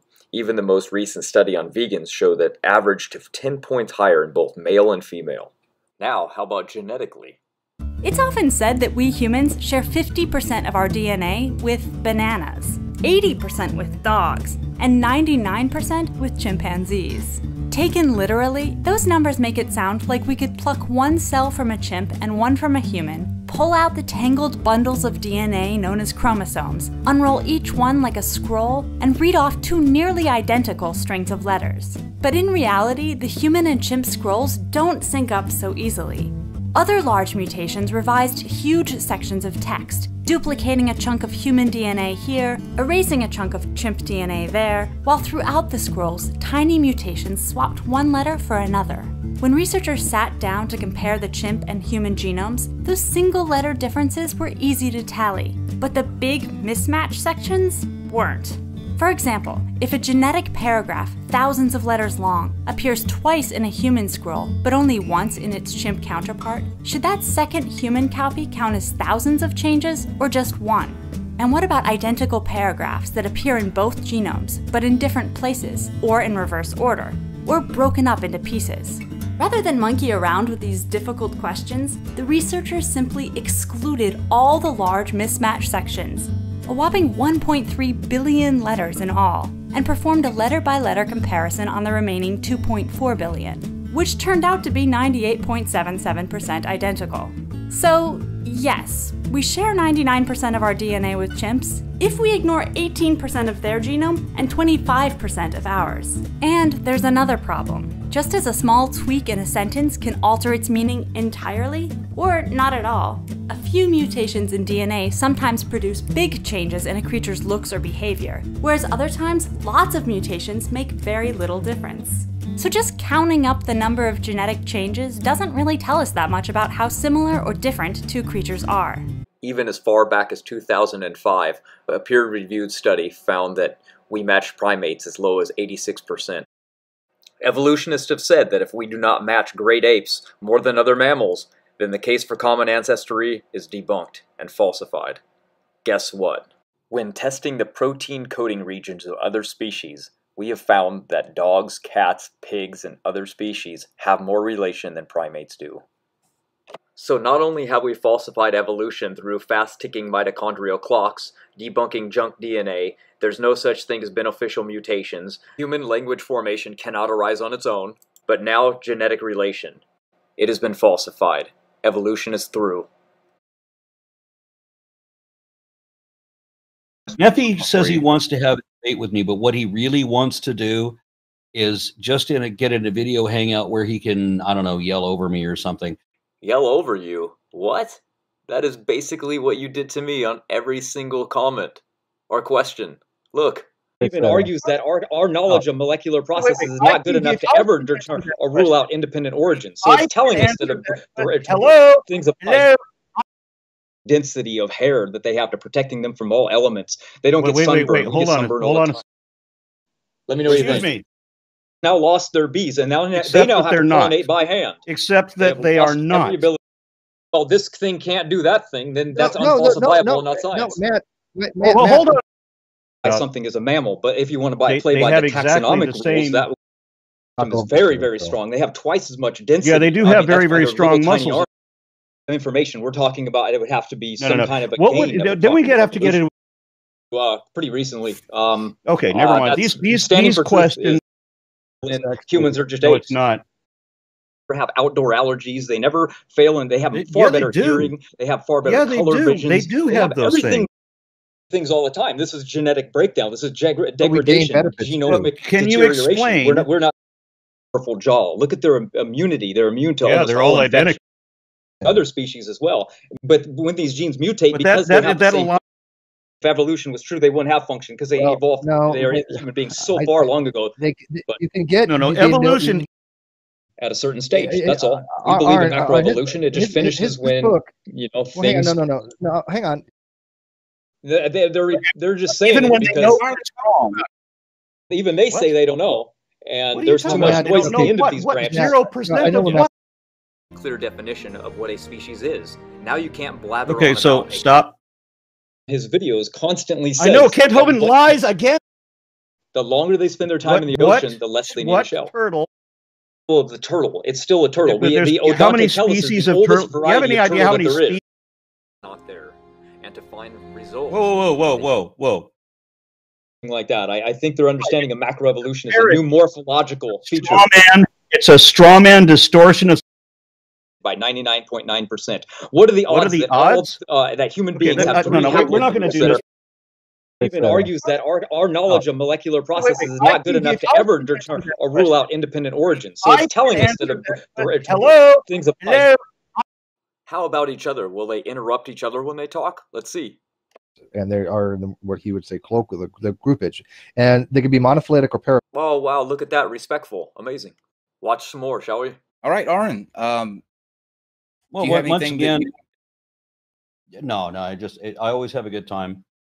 It's really it, the explanation is boring. Shannon would be really good to do it with something with that along, along those lines. maybe. Um, ten, 10 if you're old like me. Be awesome. uh, And then of course, and weekend guys, make after sure. that, Weekend after that, I'll be back in. So, will you admit? Matt, listen very carefully. That would be pre-Cambrian. Okay, uh, and I have. I'm gonna send this to. I'm gonna send this And to those David. are those um, are unknown, so that we can see this on the screen. And um, monkey I, drunk. I, I feel like this. Is, gonna- I feel like this is going to replace the Sphinx guy. Bat What thing. is Um, can, creationism? can, can, Go ahead, uh, I'm sorry. Aron, can you uh, can you can you answer that about the bat? Um, apply to the same clade. Yes. The colloquial So- word so- ape conforms So- to so when we're- the taxonomic superfamily Hominoidea, which means ape. And we're hominoidea.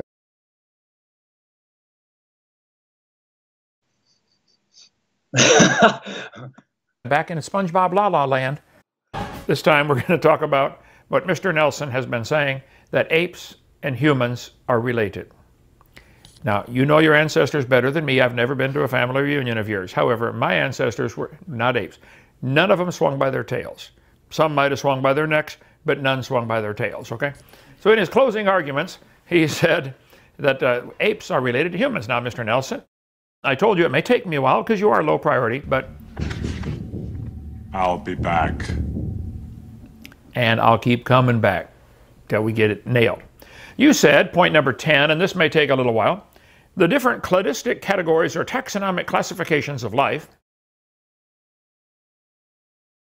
that prove that humans are apes and that birds are dinosaurs are determined objectively according to a suite of morphological, embryological, and molecular data without anyone having to draw lines on paper. We covered some of that last night.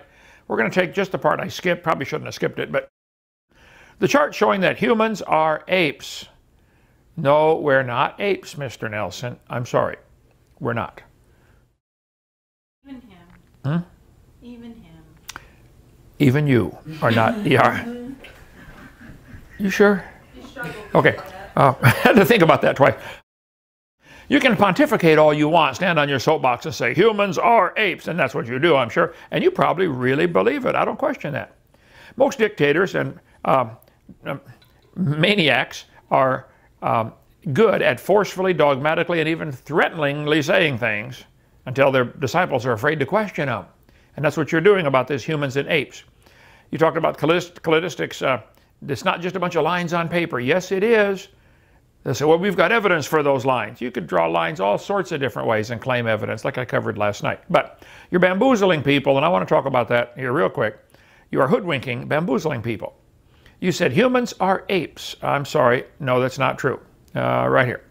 The charts evolutionists make are claiming relationships. They're pure imagination and are simply lines on paper. Humans are not apes. The hands are very different between humans and apes.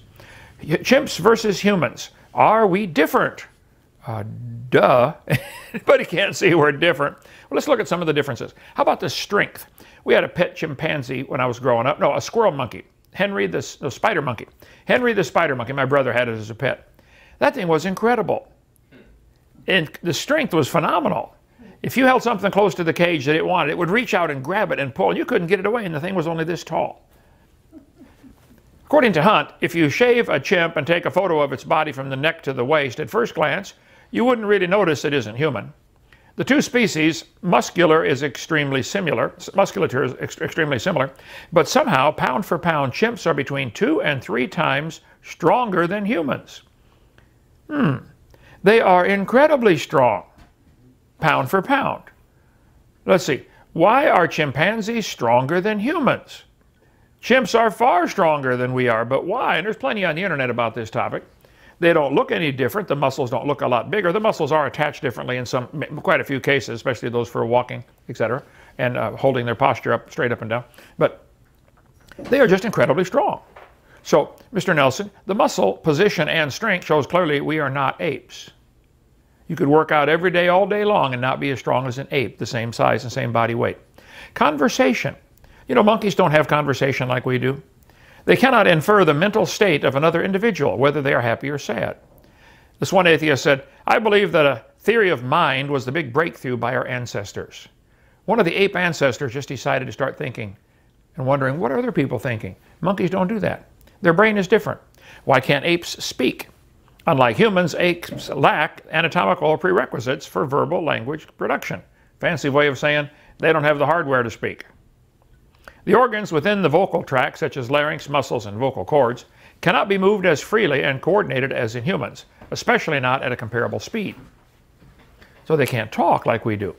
Will chimpanzees ever be able to speak? For decades, monkeys and apes' vocal anatomy has been blamed for their inability to produce human speech sounds. But a new study suggests macaque monkeys, and by extension other primates, could indeed talk if they only possess the brain. So not only do they not have the vocal wiring to do it, they don't have the brain to do it, the part of the brain that's missing that, that allows them to speak and recognize and understand verbal communication. So, Mr. Nelson, I'm sorry, humans are not apes. They have nothing similar to speech like we do. How about their stance, the way they stand? Humans are bipedal. Apes, and except for short bouts of uprightness, great apes walk on all fours. It's a profound disparity. Kevin Hunt, director of Human Origins and Primate Evolution Lab at Indiana University, thinks humans' ancestors stood upright in order to reach vegetation in low-hanging tree branches. Oh, so they learned to go from four, walking on four to walking on two so they could reach stuff on the tree branches. That's the story they've got. I'm sorry, that's a made-up story. That's not science. How about the houses monkeys make? That's an orangutan's house. Here's a human's house. Here's a chimpanzee house. Here is Alabama's largest house. Mr. Nelson, humans are not apes. No ape or any other animal builds houses anything similar to the way humans do. Nothing close, okay? What about using tools? Oh, he look at that. He picked up a stick. Whoa, okay. I don't think apes tools or anything similar to human tools. Okay, we have a shop down. How many tools do we have in the shop? Thousands, bunch. Okay. No animal comes close to humans in tool use. They might get a stick and shove it down a hole and try to get a few ants to stick to it. If you think that's similar to launching a space shuttle or building a skyscraper, you are absolutely insane. Completely bonkers, okay? Humans are not apes. No ape or any other animal uses tools anything similar to the way humans do. So stop saying humans are apes. No, we're not. Human feet are very different from chimpanzee feet. They did not evolve from a common ancestor, they have a common designer. The feet are very different. The bone structure, the joints, very different. The way that we walk and roll our foot compared to the way an ape does it, uh, none of their feet are similar to ours. If you say, well, look, they've got five digits, you know, four toes, and we've got four, to four toes and a, and a great toe. Well, this again could prove common designer, not common ancestor. Just in case you don't know, okay? This is the human foot over here. This is the ape's foot, okay? The feet are very different on the two. We have a large heel, they have a small heel. We have an ankle adapted for walking. Their ankle is adapted for climbing, the way the bones attach there. Stiff midfoot for propulsion when you push off of your stride. They have a flexible midfoot. Uh, anyway, there's lots of differences in the ape foot and the human foot. I think the fact that there are a few similarities is evidence of a common designer. Same guy designed them and did a wonderful job, by the way. Ape's feet and human feet are very different. You can study the feet very carefully and say, wow, you could imagine that one could evolve to the other, but that's pure imagination. They know the problem with feet when it comes to evolution. So when they found Lucy in 1973, Hadar Valley, Ethiopia, Donald Johanson found Lucy, became very famous for it. The only thing he ever did in his life of any recognition, I think. But he put, they put human feet on the Lucy display at the St. Louis Zoo. And here's a general biology textbook. How did humans evolve? Hominid evolution. A reconstruction of Lucy on display at the St. Louis Zoo. A female skeleton found more than 20 years ago. Fossilized footprints from the ash. So they're equating Lucy to making these fossilized footprints, which were 100% normal human footprints. Whoa, this is deceit all the way through. Lucy, what nice feet you have. Many of the people, science of biology, different uh, authors said, oh, Lucy had human feet. This is absolutely baloney. Not, not a single foot bone was found. None. They have to put it in there, though, because this is a major problem to go from a human foot to an ape foot. I'm sorry, Mr. Nelson. Humans are not apes. Their feet show us that very clearly, okay? The human pelvis is very different from chimpanzee pelvis. They did not evolve from a common ancestor. They have a common designer. Our pelvis is designed for walking upright. Theirs is designed for walking on all four. Our pelvis supports the organs inside, holds it, it holds them in place because of vertical uh, up and down gravity pulling on them. The pelvis is very different. You could study this for a long time. And I'd like to know how on earth you think it changed from one to the other, from the human to the chimpanzee, or chimpanzee to the human, either way, the pelvis is very different. The way the muscles attach is very different. Just the pelvis shows very clearly, and their backbone, walking upright versus horizontal, shows we are not apes. I'm sorry. You, now, you said it dogmatically, and like Hovind's an idiot, everybody knows this, you know, humans are apes. No, we're not apes. We're not. Stop saying stuff like that. Humans have a large cranium for the brain, Chimpanzees have a small cranium and a small brain. We have a flat forehead and face. They have a protruding brow and sloping face. We have a protruding nose. They have a broad, flat nose. The differences are immense just on the face of the two. The vertebral column and pelvis is very different because we walk with our head held straight above our body and they walk with their backbone horizontal. The placement of the foramen magnum is very different. Ours is up here where the spine, spinal cord goes through into the brain. Theirs is way back here. How did this evolve slowly over millions of years? How did the foramen uh, magnum change position? And where's the evidence for this? Ours is designed to hold the head straight up and down so your vision, field of vision, is perpendicular to your backbone. They walk with their backbone like this, so their head's up and they want to see their field of vision is parallel with their backbone. I'm sorry, Mr. Nelson, humans are not apes. The foramen magnum, magnum position shows us this very clearly. But they put them in the textbooks like we're related. They drew lines on paper. There we go. That's proof. They got a line on paper. Lord, we're even related to sponges. Whoa. Take a bath with your great, great, great, great, great, great, great, great, great, great, great, great, great, great grandpa. Yeah, the sponge. Okay. You can believe that if you want, but that's not science. The question whether or not we are close genetic cousins of the great apes has bothered people for a long time. The answers to this question are perhaps even more interesting and reveal some of the inner workings behind the scenes that surround this contentious issue. So let me go back to the 1970s first.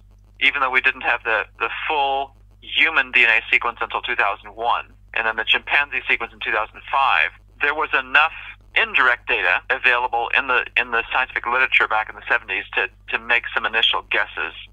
And from these initial technologies, which we don't even need to get into. It's just it's an indirect way of, of getting at how similar we are.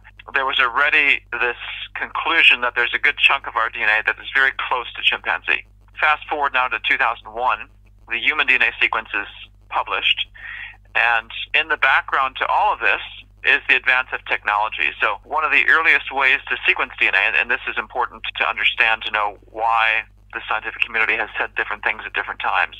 If you go from the from the indirect scientific methods in the 1970s to the direct scientific methods, one of the early techniques for sequencing DNA directly was called Sanger sequencing. You'd have to have some sort of starting point. There's three billion letters in our DNA sequence. You'd have to have some point for which you already know the sequence. And you could sort of walk along and, and discover the next, let's say, 300, 700 letters and you know what those letters are, and then you, you design a, you use it as your next starting point, and then you do the next 700 letters, and you can see just how slow and gradual this process of discovering sequence is if it's 3 billion letters long. So for modern DNA sequencing advance, the scientific community has switched to a different technology. The human DNA sequence in 2001 utilized part of what I just mentioned, uh, this, this slow walking method. But uh, another technology that's been used is called shotgun sequencing, uh, and and as well next generation sequencing. So essentially, what this is, you take a DNA sequence, you, you take a sample of DNA, you somehow bust it up into millions of tiny pieces, and ideally this might be, let's say, 50 letters, 100 letters, 150 letters long, and you, then you can multitask. Essentially, you can you can sequence all of these tiny little fragments in parallel, which dramatically speeds up the process, and then you electronically stitch back together the final sequence. So the the, the early technology, the Sanger sequencing, where you sort of walk along 700 letters at a time, gives you a very clear, unambiguous answer at the end, but it's very slow. The newer technology, the next generation, the, the shotgun type technology, gives you an answer much more quickly, but it has this inherent ambiguity.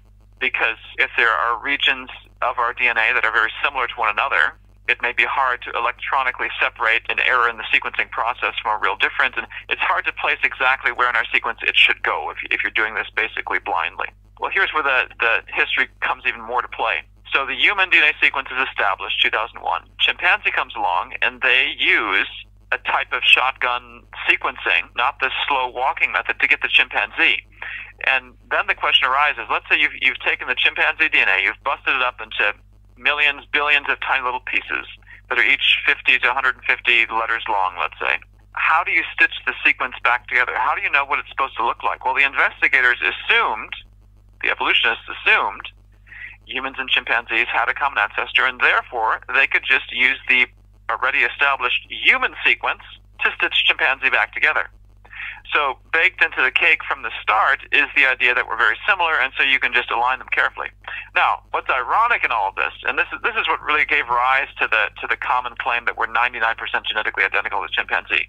Those two studies, 2001 and 2005, and the 2005 one, where they're using human DNA to orient and stitch back together the pieces of the chimpanzee DNA. So what people knew in 2005 is here's here's a bunch of fragments of chimpanzee DNA, and if we use the human DNA as a template, we can put the puzzle back together in this manner, and it looks like it's 99%. Now, of course, there's a little bit of circular reasoning built into that because you've essentially assumed the human and chimpanzee is very similar from the start. You've used the human as a template, sort of if you're putting a puzzle together. You're using our the human DNA sequence as the cover for the box for the puzzle pieces, and you're using that to align on the, the chimpanzee puzzle pieces and figure out how it goes back together. Despite all of those built-in, somewhat circular assumptions in the methodology, despite all that, there were still chunks of chimpanzee DNA that could not find any match to human. That was typically excluded from the discussion. So that's another step to consider here not only was first of all the, the, the chimpanzee sequence built and stitched together on a human template, and the results of that is what they said was 99% identical. There were still, and this wasn't mentioned as much, fragments of chimpanzee DNA that could not match to human, and vice versa. There are parts of human that did not match chimpanzee. Analyzing those data, and one of my colleagues had done this extensively, analyzing these data, it looked like we were more around the order of 88% identical to chimpanzee. Now, that may not sound like a, a massive difference, 99% down to 87%. Well, isn't it still really similar? In terms of raw numbers, it's a huge difference. So if we're 88% identical to chimpanzee at the DNA level, 12% different. That means we're 300 to 400 million DNA letters different from the chimpanzee. It's a, it's a pretty big gap. Now, all of this has been thrown into more confusion by the latest advance in technology. They've basically gone back to the old way, in a sense, of uh, sort of walking along the DNA, but they've got new tools now. The scientific community has new tools to sequence longer stretches. So instead of having a particular starting point, then discovering the next 700 letters of the sequence, and then picking that word ends as the new starting point, and on you go, they can now do tens of thousands of letters in one sitting. Then you got a new starting point. Then you the next tens of thousands of letters, new starting point, and on you go. You, it's a better way to stitch the genomes, the, the DNA back together. And that's now been done for chimpanzee, for human, I think for gorilla and orangutan, this newer technology that, that should allow you more of a, a bias free stitching of the human and chimpanzee puzzles back together. However, from my reading of that particular paper that just came out in the last year or two, it seems that the authors punted and didn't even try to answer the question of whether, uh, of just how similar, how identical, how different human and chimpanzee DNA is.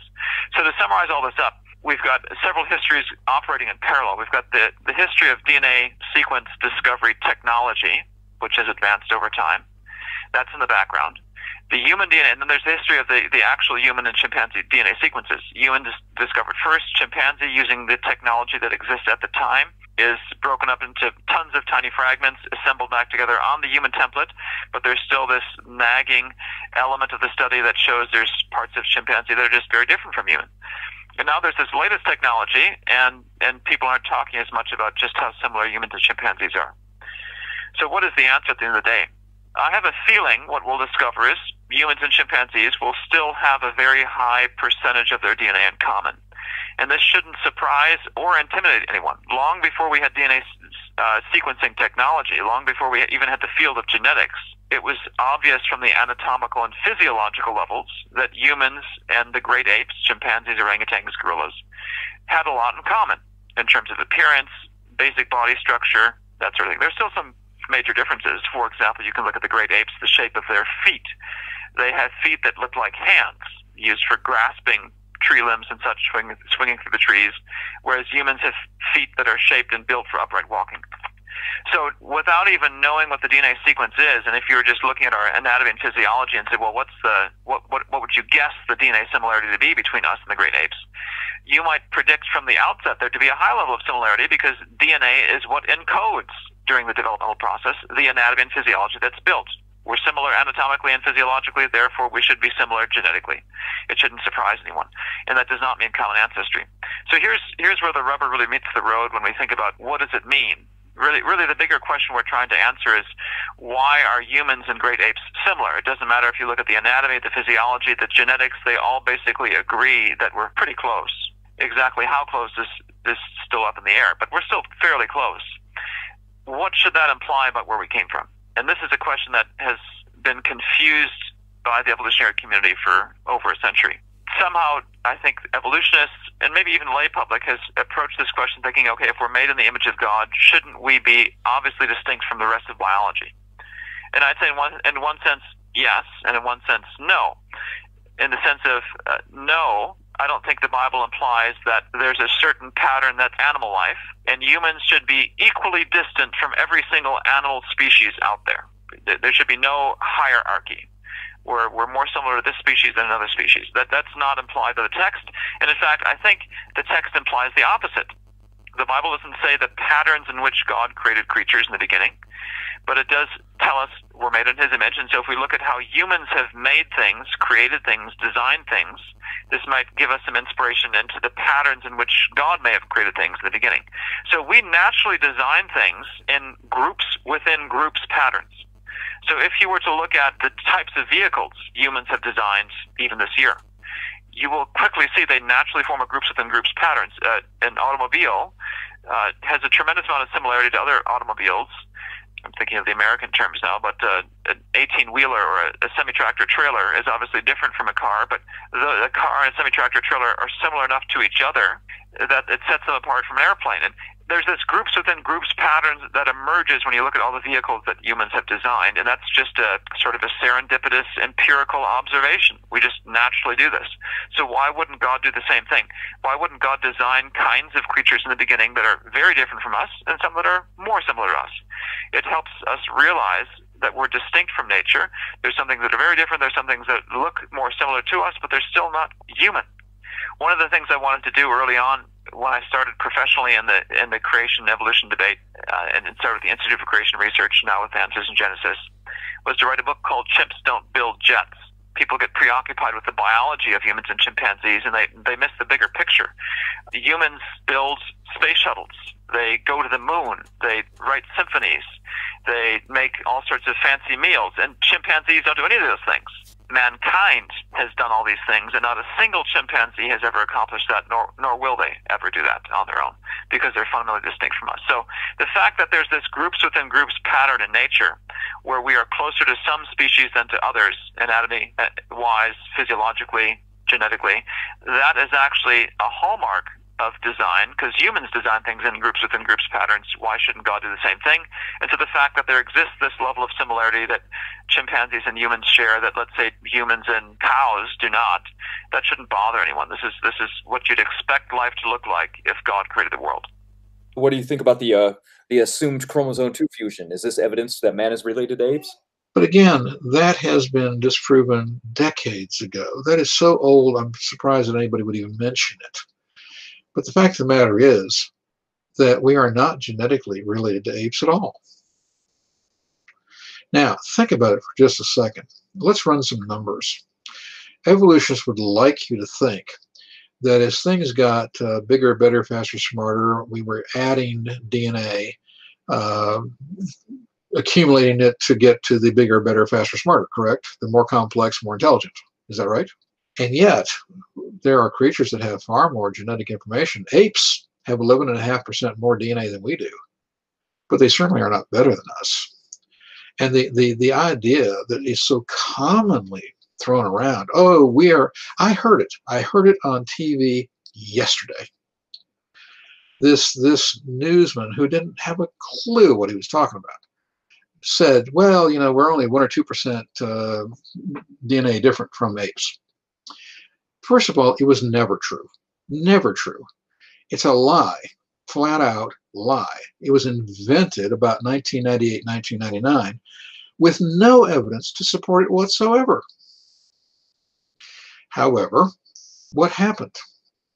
As we started to understand the human genetic genome, we started to find out that it has vastly different characteristics to that of apes.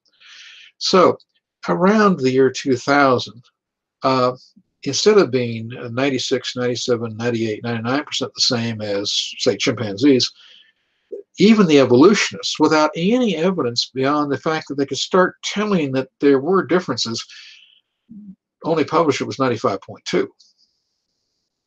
But what happened was, as they went on to 2005 and on to 2013, and I want to bring you up to date, the more we knew about the genetics of the human, and we knew the entire genome alphabet in 2003, but we didn't know the ape genome, every character, in 2003. So they were comparing incomplete information with complete information. And they were using the human DNA as a template to put the ape DNA in the order they wanted it to make it look like it came from us. But of course, that's not true the DNA actually is on different chromosomes and so forth. And and the concept uh, apes have an extra set of chromosomes we don't have, and that somehow or another they melded together in the X chromosome. Um, well, what happens? The more we know, the, the more the numbers changed. So if you take a look at the publications, for instance, of the national proceedings of the National Academy of Sciences, uh, you find out that the numbers were going down as a percentage. And today, today, we can say the DNA of humans and apes is only 70% the same. Now, let's compare that for just a moment. That's 900 million DNA differences to start with. And even at rates which evolutionists believe material changes beneficially, there wouldn't be enough time to produce a human. And that's using their assumptions. But let's take a look. You don't start at zero when you compare living organisms when it comes to DNA. All living organisms, I don't care whether you're a bacteria, a plant, an animal, or a human being, all organisms that are biological share 25% the same DNA. So you don't start at zero to compare to begin with. I love the fact that you mentioned SpongeBob a little earlier because I just wanted to break out laughing. Uh, and I'll explain why. Let's take a look and compare now the genomes that we do know compared to humans and apes. And I mentioned we now know that we're only 70% the same genetically uh, in the genes with apes, right? But, but you're 50 to 60% the same as a banana. You're 35% the same as a daffodil or narcissus. It's the same plant. But you are uh, 86% the same as a rat. At least a rat's a mammal, is that correct? Uh, but you are 70% the same as a sea sponge. So maybe SpongeBob and we are related. They tell us that man grunted language into existence. But who are they? Scientists. That's right, not linguists who actually study and specialize in language for a living. So are you going to take some paleontologist, zoologist, or anthropologist theory for human language development from people who know nothing about it nor study it? That's not logical. So before I get into why it's impossible developmentally, neurologically, mathematically, and statistically that language cannot arise on its own, ask yourself, why would man even wait hundreds of thousands of years before using the same skills of today to record history? Speech is a fundamental part of evolution. Even Darwin himself said speech is 95% plus of what lifts man above animals. So no one can say that language has nothing to do with evolution. It most certainly does. And linguistics requires intelligence. Where did that come from? Language as a code only comes from intelligence.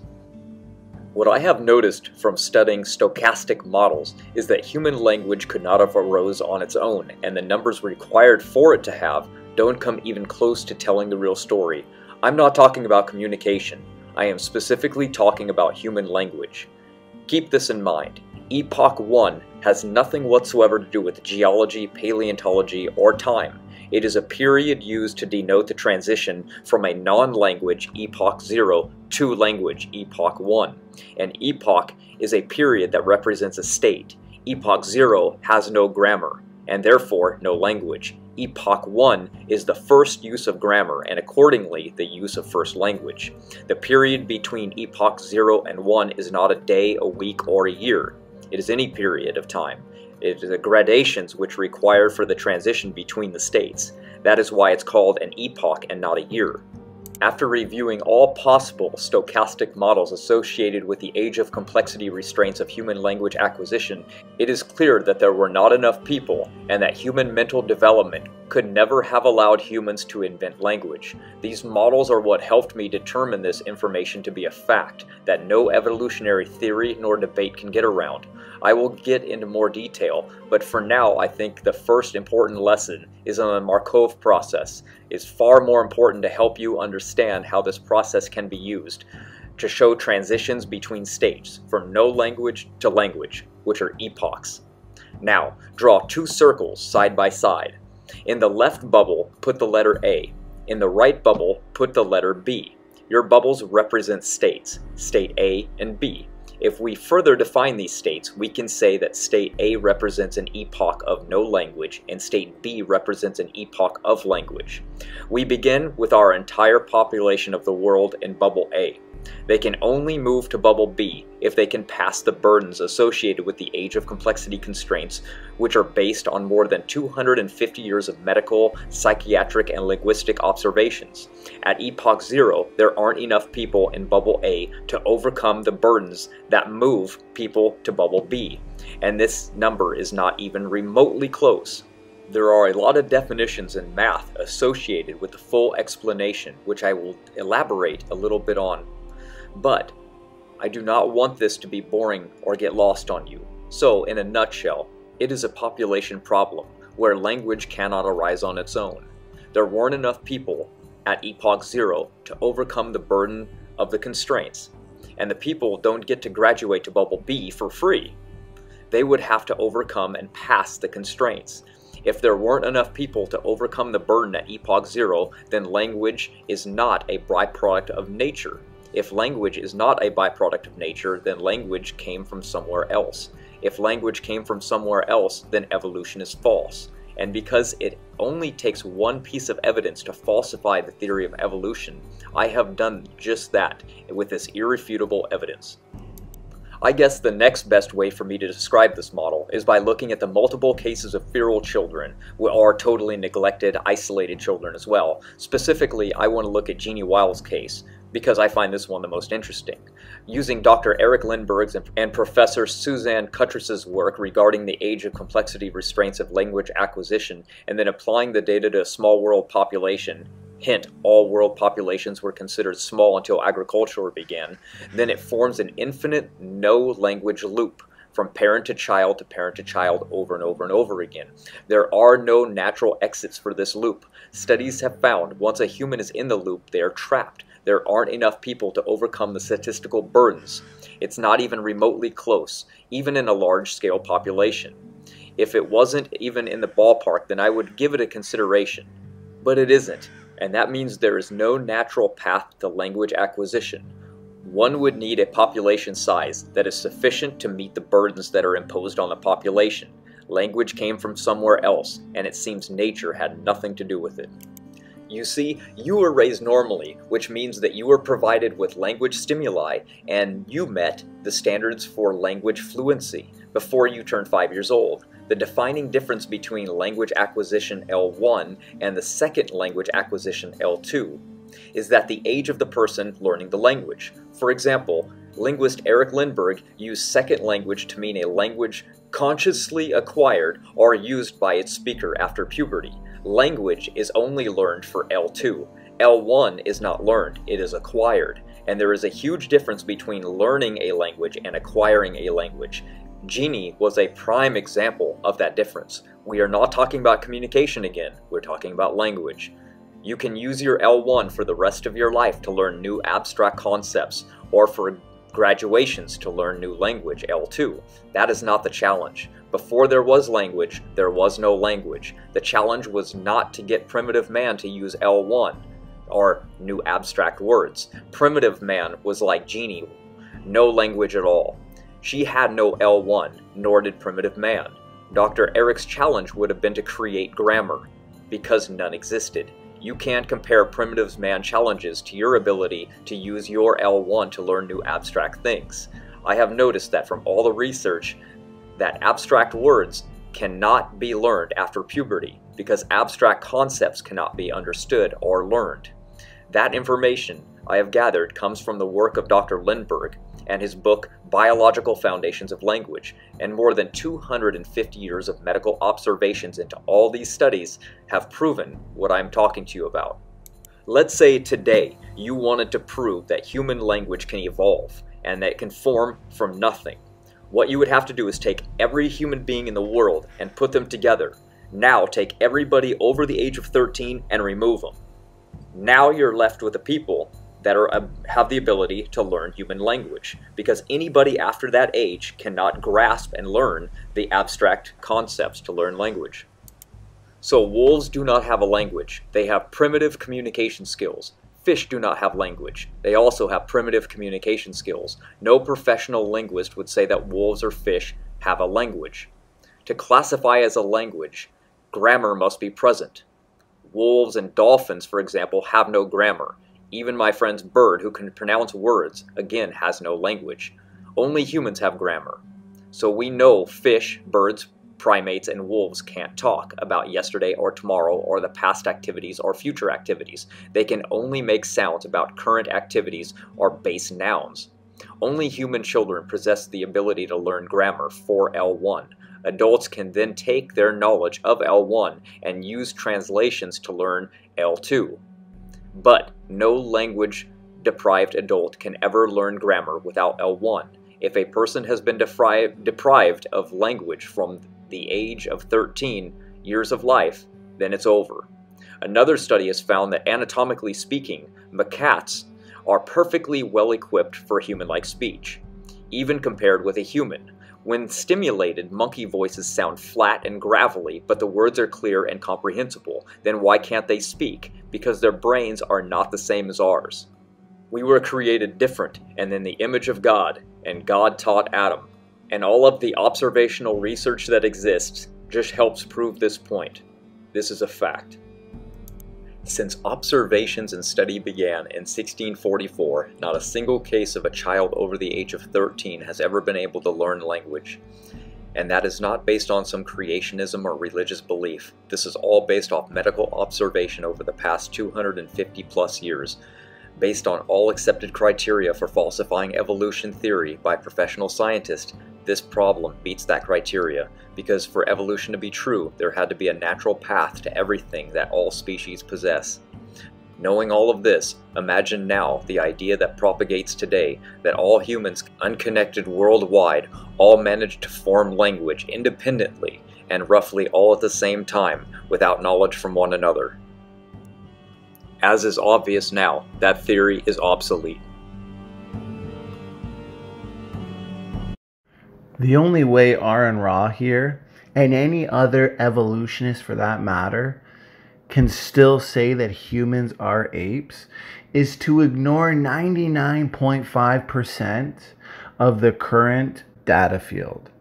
For example, the fact that they say humans and chimpanzees have genetic identity that's approximately 98 to 99% similarity. The fact of the matter is is that the actual identity is only about 88% similar.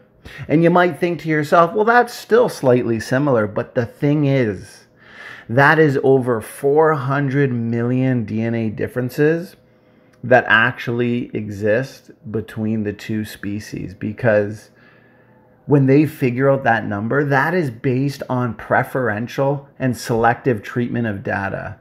That's why when you don't just use cherry pick data, for example, sequences that they expect to be similar based on their bias, their evolutionary bias, that's how you come to the 88% similarity, which destroys ape to man evolution. And to not go too deep into it, what they don't include is non aligned DNA gaps, copy number variations, and size differences.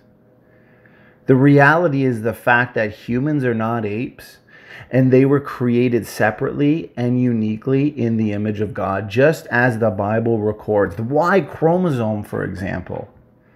The Y chromosome disproves ape to man human evolution because the significantly different DNA sequence of the Y chromosomes is remarkable and extensive. This is a serious problem for common ancestry because given the low level of recombination and DNA sequence diversity on this Y chromosome, the human evolution paradigm is faced with a fatal blow and serious problem because the human and chimp Y chromosomes should be a lot more similar to each other if human evolution was actually true they should be the most similar chromosomes in the genome because they are so stable. For example, small amount of variation. But the fact is, the Y chromosome is remarkably different between the humans and the chimps. It's approximately 70%. This is a fatal blow. We can look at orphan genes Orphan genes are fully functional gene sequences that code for both a functional messenger RNA and a protein. And they lack similar counterparts in other organisms. Now, orphan genes that are specific to humans are very convincing evidence against the idea that we evolved from apes. Aron Ra says that we're still apes, but as you can see, genetics proves biblical creation and disproves ape to man evolution. Now, these orphan genes, the reason why these orphan genes are very powerful evidence against this idea that Aron Ra puts forth is because these genes appear fully formed and uniquely integrated into the complexity of the human genomic network and clearly functional and important to various cellular processes. There is absolutely no evidence. This is just icing on the cake given everything that has already been talked about. But there's no evidence for common ancestry with apes or any other creatures. This amazing category of genes, these orphan genes, are taxonomically restricted genes that are unique to each type of organisms. And these genes appear suddenly without any trace of ancestry in apes or any other animal. And Aron Ra can look to a hypothetical SpongeBob La La Land imagination fairy tale, but they don't fit that hypothetical fairy tale.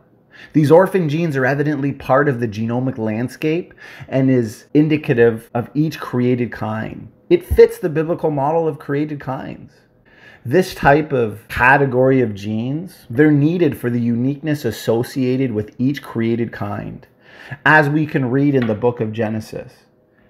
They will also say, given Aron Ra's list of evidence here, showing that quote unquote humans are apes, is that humans are genetically closer to apes. He'll look to nested hierarchies because a human is genetically closer to a chimpanzee than a human is to, say, a dog or a whale or a banana plant that nested hierarchical classification system that we see in life. And they'll say that that irrefutably demonstrates common ancestry. But the fact is, these relative hierarchies are characteristics of design.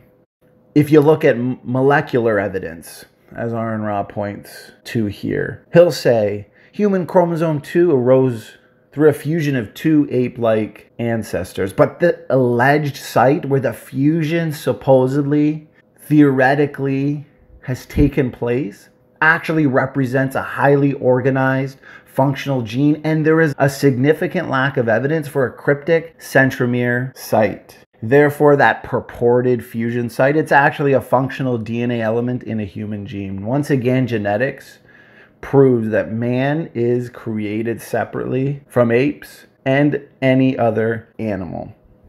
They'll also say, we've all heard it, Aaron Ross says humans and chimpanzees share genetic mistakes. How do you explain this? Pseudogenes, for example, but pseudogenes are now known based on further scientific discovery to be functional DNA elements and not mistakes. The junk DNA era, the junk DNA paradigm has been completely overturned. We have only just begun to discover just how amazingly functional the human genome is, and it's mind boggling. It's flabbergasting how many experiments would be required to actually conclude with any level of confidence that a particular set of DNA sequences has as absolutely no function. For example, when they look to molecular phylogenetics, molecular data to prove their ape to man ancestry, they'll say gene order along chromosomes has no function. And they conclude that shared gene order demonstrates common ancestry, but the gene order along chromosomes has very important functional roles.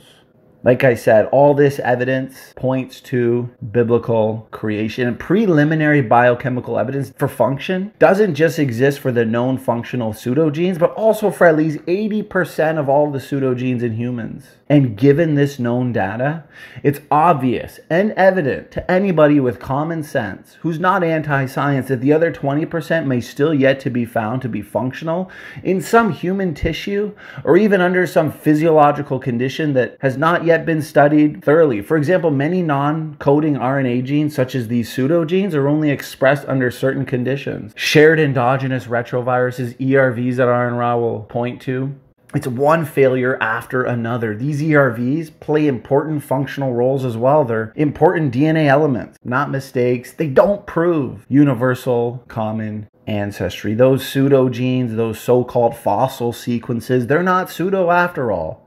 As I've stated many times in debates and discussions with some of the top evolutionary proponents and defenders, these genes are necessary and required to sustain healthy life processes in the cell. Aron Ra's so called ape to man ancestry, the fairy tale that he wants to hope, dream, and imagine is true, is dead. They've looked at beta globin pseudogene, the supposed broken remnants of an ancient chicken gene. They're now known to be functional DNA elements, all contrary to what evolutionists would have you believe. The gulo pseudogene, for example, the evolutionists use a very small amount of highly selective data It's all preferential and selective treatment of data, and it only represents a very minute piece of the entire gulo gene regions and patterns of the gulo gene atrophy in the various types of animals in which they occur, taxonomically restricted in their genomic signatures and lack evidence of common ancestry. The data is actually significantly consistent with the notion that they are independent events. It's based on cherry picked data. And if it occurred millions of years ago, this gulo pseudogene, the exons would be much more degraded. The gulo pseudogene that Aron Ra would look to is obvious and very strong evidence for genetic discontinuity between humans and apes, not the inheritance of shared mistakes. This is all consistent with genetic entropy and, and systematic discontinuity, not ape to man evolution that he'll have you believe. At the end of the day, we are devolving and not evolving. Mutations are not construction, they're not the creator. We are accumulating mutations per generation. Humans, for example, 100 new mutations per person per generation, and these near neutral, low impact deleterious mutations, they're unselectable. They build up in the genome. We are degrading these so-called human ape ancestors that they can look to it's all evidence of a biblical creation model. For example the hobbits that they look to the early human population what we now know is that they were inbred and apparently suffered from a special type of genetic degeneration called reductive evolution which results in reduced body size reduced brain volume and various pathologies. These bones found in the dirt that that they'll look to. It's more consistent with a biblical creation model of post flood, post Babel isolation, inbred effects, for example. Even the early human population referred to as the Neanderthal, there's a paper that describes them as highly inbred, had a very high genetic load. This severe genetic degeneration, probably post Babel and, and due to inbreeding and isolation, contributed to the disappearance of this human population. Homo erectus, for example, seems to have suffered from reductive evolution. They were inbred. The genetic degeneration of erectus was less advanced, of course, which indicates the more moderate reductions in body size, brain size, and, and other pathologies. But many paleoanthropologists would fold both Hobbit and Naledi, for example, into the more diverse erectus category. This is all we see genetic degeneration, the fact that we're going down since the fall, there's no evidence for ape to man ancestry. It's about time these evolutionists quit denying the science. See for yourself how many fallacies and appeals that Aron Ra uses in just a four minute clip with another atheist. So you want to withhold judgment wherever possible. What's your opinion of atheists that 100% believe that there is no God? Me. Like, are absolutely convinced that that's not the case? That, that, that, is that you? Uh, yeah. Oh, wonderful! Can I can I talk to you about that?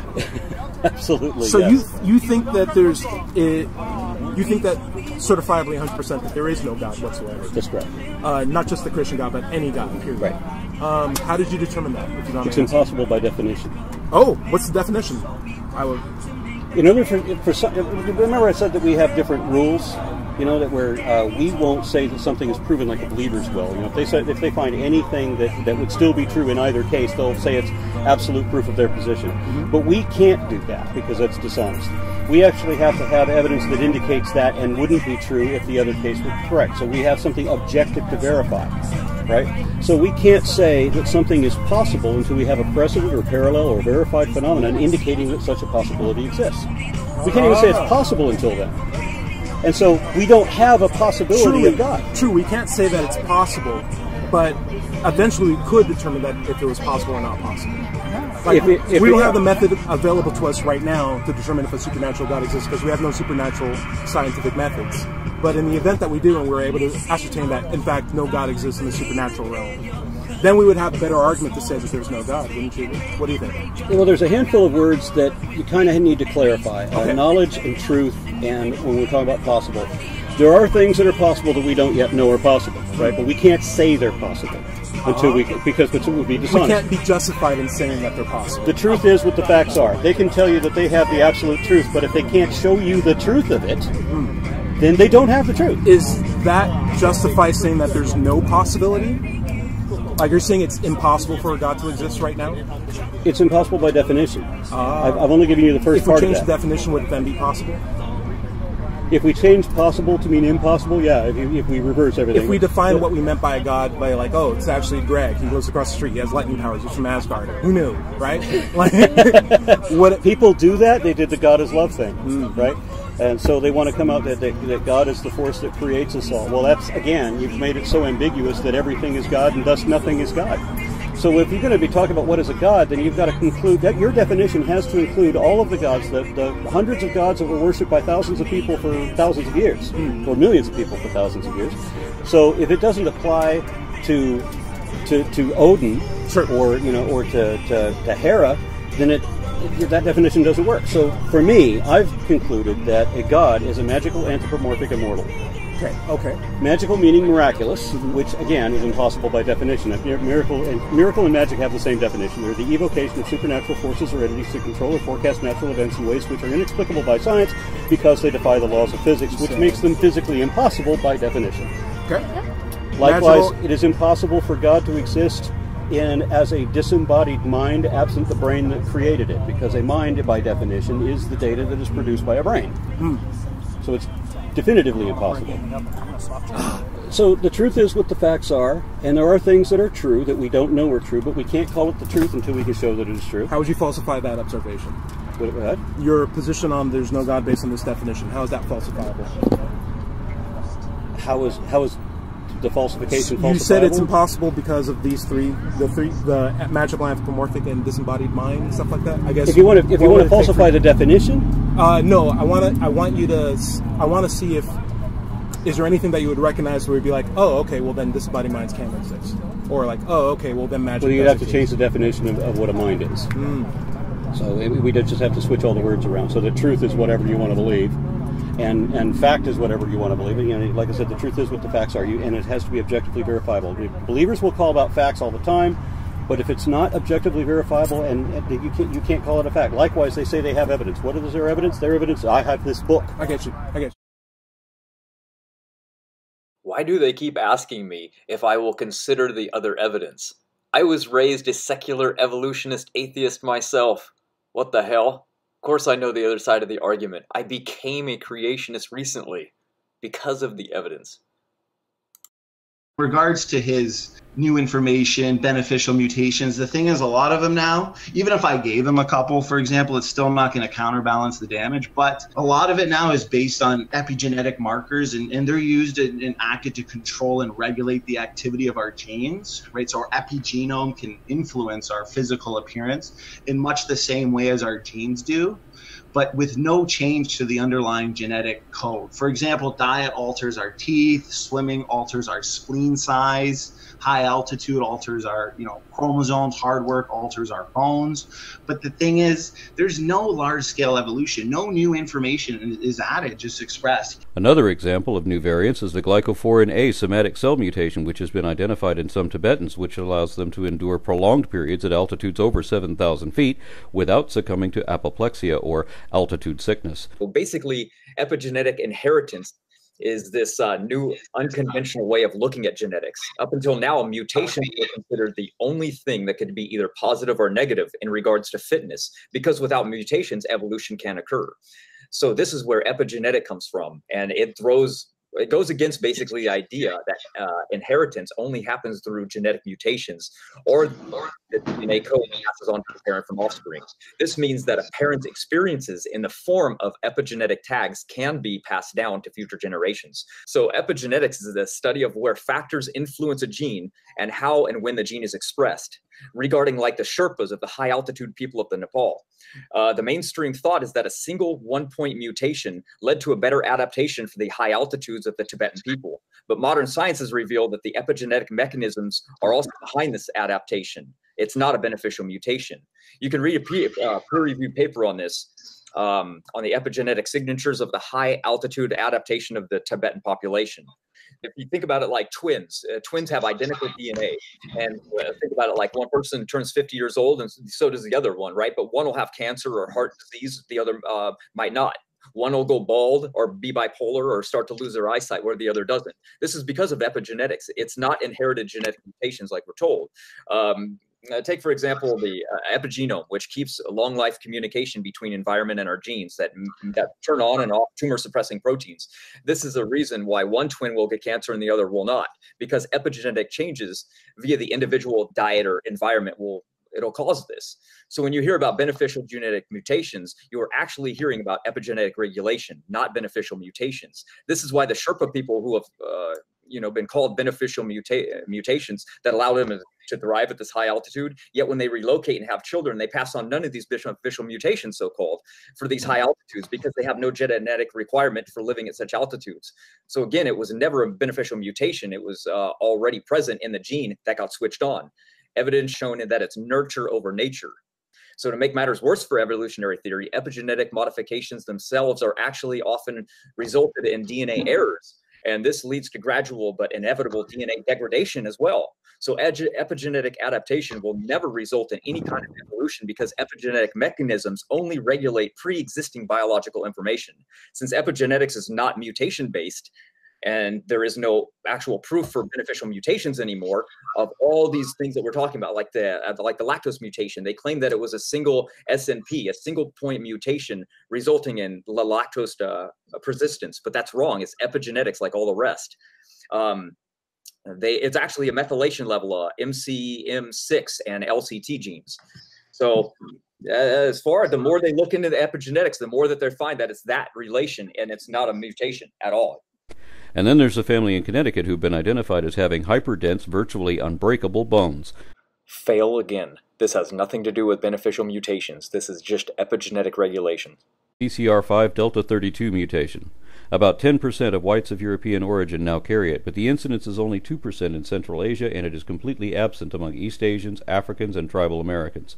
It appears to have suddenly become relatively common among white Europeans about 700 years ago, evidently as a result of the Black Plague, indicating another example of natural selection allowing one gene dominance in a changing environment.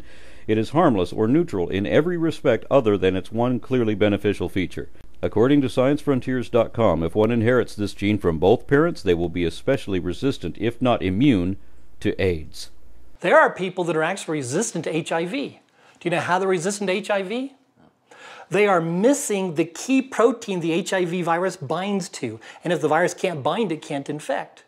Now, if you're exposed to HIV, that'd be pretty beneficial mutation, right? Sure. But what's it caused by? It's caused by loss of a pre-existing protein.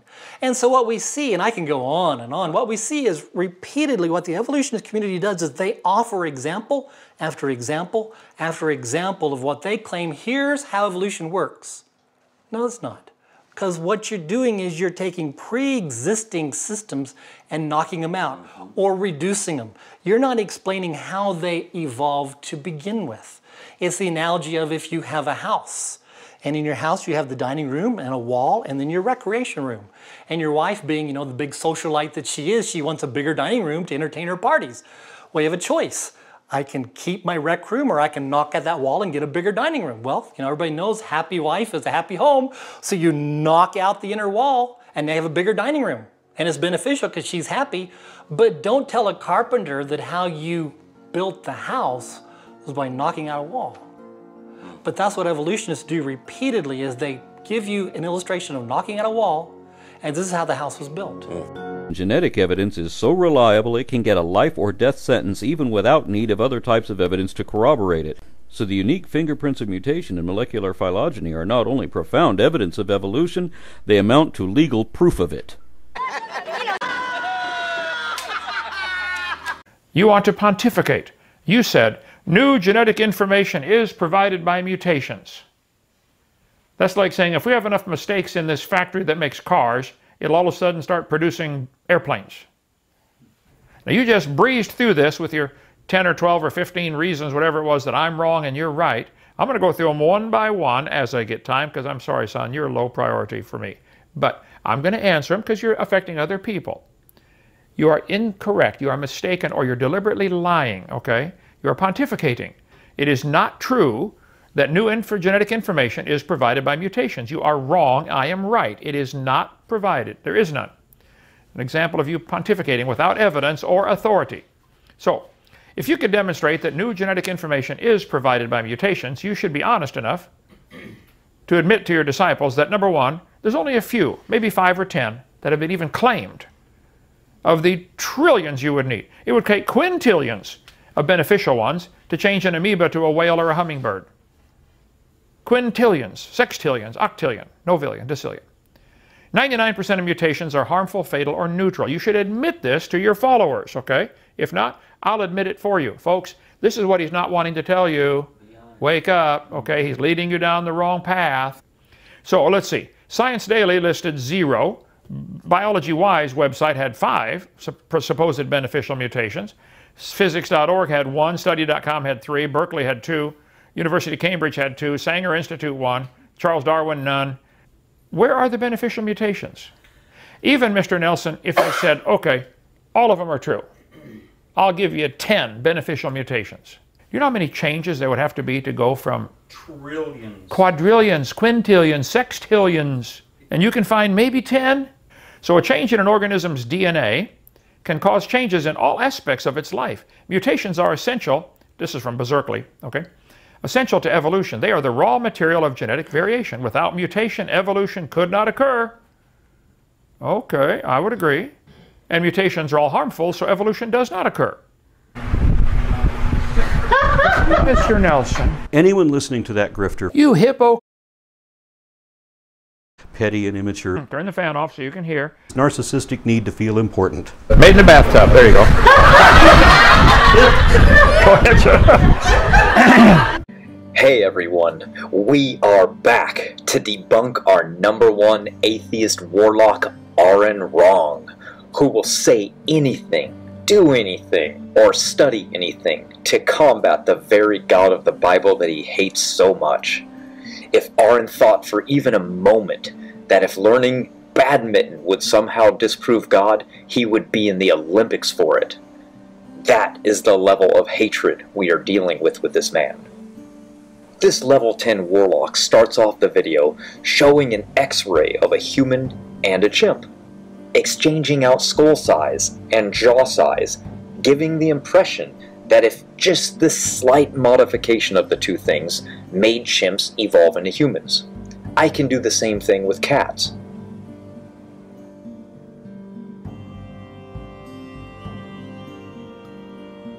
And dogs. See how enjoyable that was? Here's the most recent x-ray showing man's most recent common ancestor. Oh wait, that's just a pug. Okay, in all seriousness now, first let's look at the placement of the foramen magnum. As you can see, both chimps and Australopithecus africanus have a vertically oriented orbital plane, with the foramen magnum at the back of the skull, which is inferiorly oriented for bipedal walking. In all primates, the foramen lies always well towards the back of the skull, with the spinal cord exiting at a slight angle, and the skull is more vertically oriented as we see in chimps and Australopithecus africanus. Yet, we see the exact opposite in comparison to humans, as full-time bipedalism requires that the cranium sets atop the spinal column, as the centered portion of the foramen magnum helps to balance the mass of the head above the vertebrae. If Sahelanthropus tchadensis was a hominid which gave rise to humans via Australopithecines, as stated by multiple evolutionary storytellers, then the foramen magnum plane would have obviously changed over time to be more human-like in its placement in the Australopithecines, right? Of course, but as you can see, this is not the case. You can see it with your own eyes. The evidence shows the exact opposite of the story they're trying to tell you. And the foramen magnum is actually farther away from the center of the skull. So what? Evolution just decided to go the other direction, making a 180 and now having to go further forward to where it was before? This nonsense is exactly what you get with SpongeBob evolutionism. It violates Occam's razor as well on every level. Now, Let's look at this. Again, we see the exact opposite of what is required for evolution to work when we look at the orbitable planes. Do you see the lines showing the angles of each skull? Well, at the top left, it shows you a supposedly early ancestor of man going back 7 million years ago, which gave rise to the one next to the skull to the right, Australopithecus africanus, which, as you know, supposedly gave rise to humans, the skull at the far top right. Now, did you notice anything about these orbitable planes? They go from a slight tilt in Sahelanthropus tchadensis, and then it reverted backwards in Africanus to an even more primate state that is nearly identical to the chimpanzee angle today, proving that not only is Australopithecus not an ancestor to humans, but it never walked upright either, and it also falsified their own story about how one gave rise to the other in progression leading to modern humans. You see, it's not just about the placement of the foramen magnum, it's in conjunction with the orbital tilt as well, because you can have a foramen location even in a different spot or even closer to the middle like a human. But when the skull is tested along with it and found to naturally be tilted, then it's obvious the animal spent its life holding its head in a position that helped it look up while walking on all fours as to not be facing the ground, just as the human angle is tilted a bit down to help us look forward as we walk so that we do not trip and fall. This is beyond obvious, but like most things evolutionists spew out and call education, it lacks showing you the whole picture. Because if it did and include these other aspects, it would falsify itself quickly. Human jaws have a parabolic shape, not seen in any ape, but Arn won't share that information both observation and logic dictate that the theory is 100% wrong. These are just more examples of blatant lies to the public to make it seem more true than it actually is.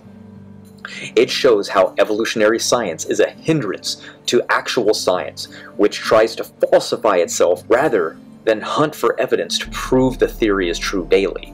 If they were not so busy looking for the few similarities they can find, maybe they would have noticed the vast amount of differences that far outweigh it. My bet goes to the biased thinking that they use. Critics really need to stop getting mad at us for telling them that they were lied to and then stop taking the liar's side when they are exposed. It shows their true indoctrination and cognitive dissonance. Here's another thing no chimpanzee has a nasal bone. You can take a pair of sunglasses and place it on any chimpanzee or Australopithecine skull, or even supposed missing link ancestor to test if it's human. So keep this in mind, all humans have a nasal bone, and chimps, nor Australopithecus africanus, do not.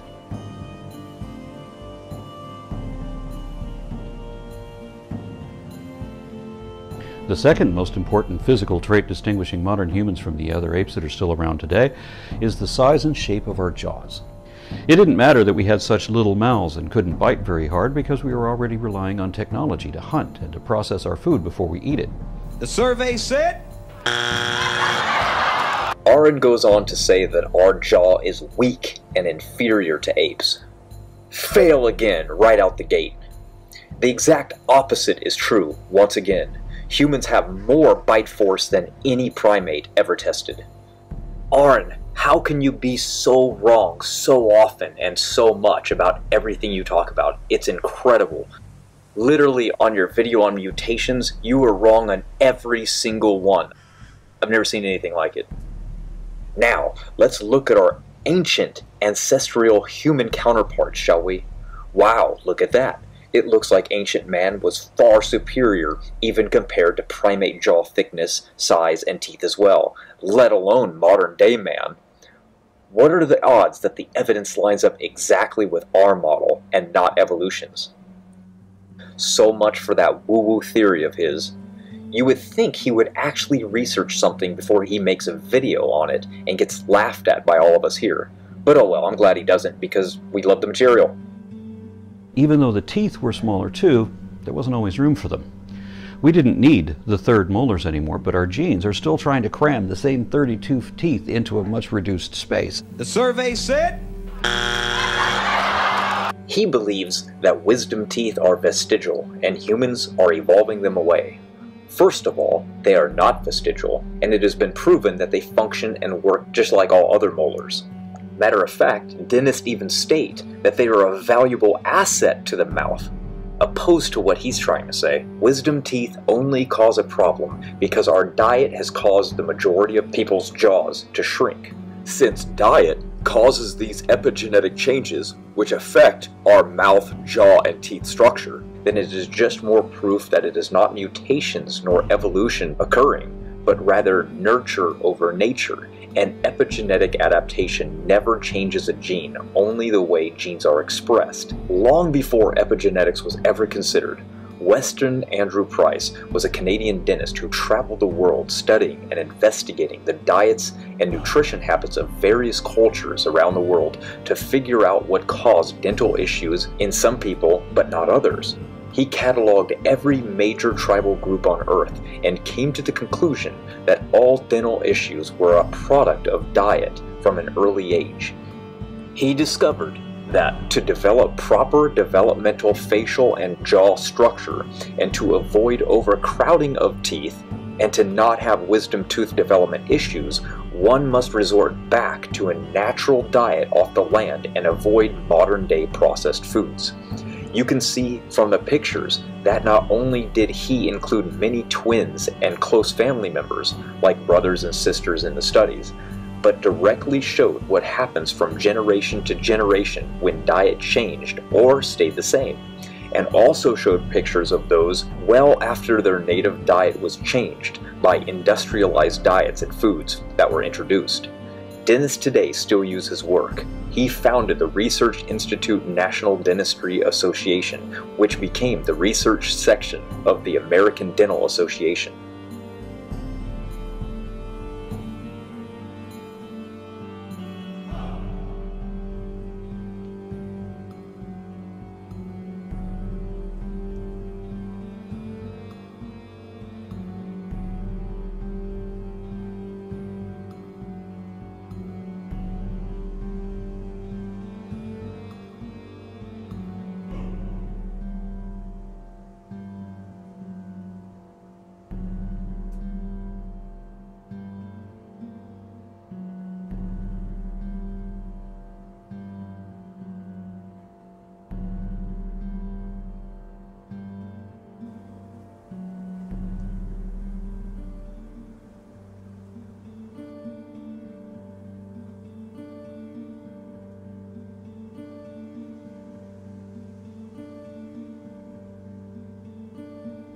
Natural selection would have eventually weeded out wisdom teeth, and people with this PAX9 mutation would have eventually replaced us. If you examine the inside of your mouth in a mirror to see just how ape like your teeth actually are, Skew that data, Aron. Skew that data. that shape affords just a bit of space above the tongue that other apes don't have. The roof of their mouths are relatively flat with their tongue pressed against it, which is one of the reasons they can't make anywhere near the range of sounds that we can. That and their mouths are also too deep to make the same noises we do. The survey said. I've already talked to Arn about this. He has zero understanding about linguistics and has zero answers other than the Bow Wow theory to account for how human language arose. That theory is so easy to debunk that it can be shot down with simple logic. Here, let me explain it real quick to everybody. The Bow Wow theory says that humans learned language by mimicking the sounds of animals. So a cat should be called meow, a sheep would be called bah, a chicken would be however the hell you spell that. Notice anything? Nowhere on earth has any culture ever used the Bow Wow theory as part of their language. Nowhere is an animal called by any of those names, as far back as we can look at language. It's a dumb theory, and Arn believes it. Next, he's completely wrong, yet again, no surprise, that the first in depth study results on the subjects found that anatomically speaking, apes and monkeys are perfectly well equipped to speak like humans, even compared to us. The simulated monkey voice sounded flat and gravelly, but the words were clear and comprehensible without question. They even share the same regions as humans in the brain responsible for speech, called Area 44 and F5. Forcing animals to talk through electrodes is not proof that one day they will learn language or evolve to do it. Lab experiments are a far cry from reality. Think about my friend's bird, for example. It can say many things. Is it ever going to evolve to use that ability? Never. What about the software? Because there are also genetic mutations that are expressed in the brain. For example, expression of the FOXP2 gene underpins the skill of producing minute complex sonic fluctuations in songbirds as well as echolocation used in bats and verbal communication among humans. FOXP2 doesn't just control the mental comprehension of what words mean, but more accurately, the skill of motor operation, synchronizing the movements of the jaw, lungs, tongue, throat, and mouth for the coordination of all these subtle movements required for fluent vocalization. Well, now that science has proven that this is true, then activating both FOXP2 genes and tweaking only two tiny changes in the sequence of the substitution of the two amino acids should now easily give primates the ability to use their vocals to speak, since now that we know anatomically speaking they can. Let's see what an expert who has done just that has to say about it. Wolfgang Enard, who studies the evolutionary history of FOXP2 gene in Max Planck Institute in Germany, has come to the logical conclusion and assumed that since humans have two working copies of the FOXP2 gene, then that is what must be required for language acquisition for normal spoken language, if evolution is true. So, first, he studied 63 chimpanzees, 11 bonobos, 48 gorillas, 37 orangutans, and 2 gibbons to find which species had the closest match to humans. After obtaining the data, a year later his team altered the orangutans' FOXP2 genes, because they already had one functionally working copy, by substituting the two amino acids which make the human's gene different, and then activating both copies of the new gene but the study was unable to obtain any results regarding speech or new communication skills. Simon Fisher, who was part of the team that discovered the original FOXP2 gene and the first to link it to language, concluded, There is no such thing as a gene for language. The study also lends weight to the idea that language didn't evolve from scratch, and he's correct. God taught Adam, and it's the only way language could possibly exist. Proven from over 300 years of observable tests, no one over the age of 13 has ever been able to learn language without acquiring L1 first. This leaves everybody over the age of 13 unable to contribute to the formation of language. Not only that, humans are the only species on the planet to have rosehip neurons. No primate does. But the question is, how can these recently discovered cells that make up over 10% of the neocortex, how could it have evolved is an evolutionist's worst nightmare. The fact that it's only humans and has now been proven to be required for regulating the flow of information to certain parts of the brain and also how they interact with pyramidal neuron in the cerebral cortex and the hippocampus and the amygdala is just another example of how humans are nothing like apes whatsoever.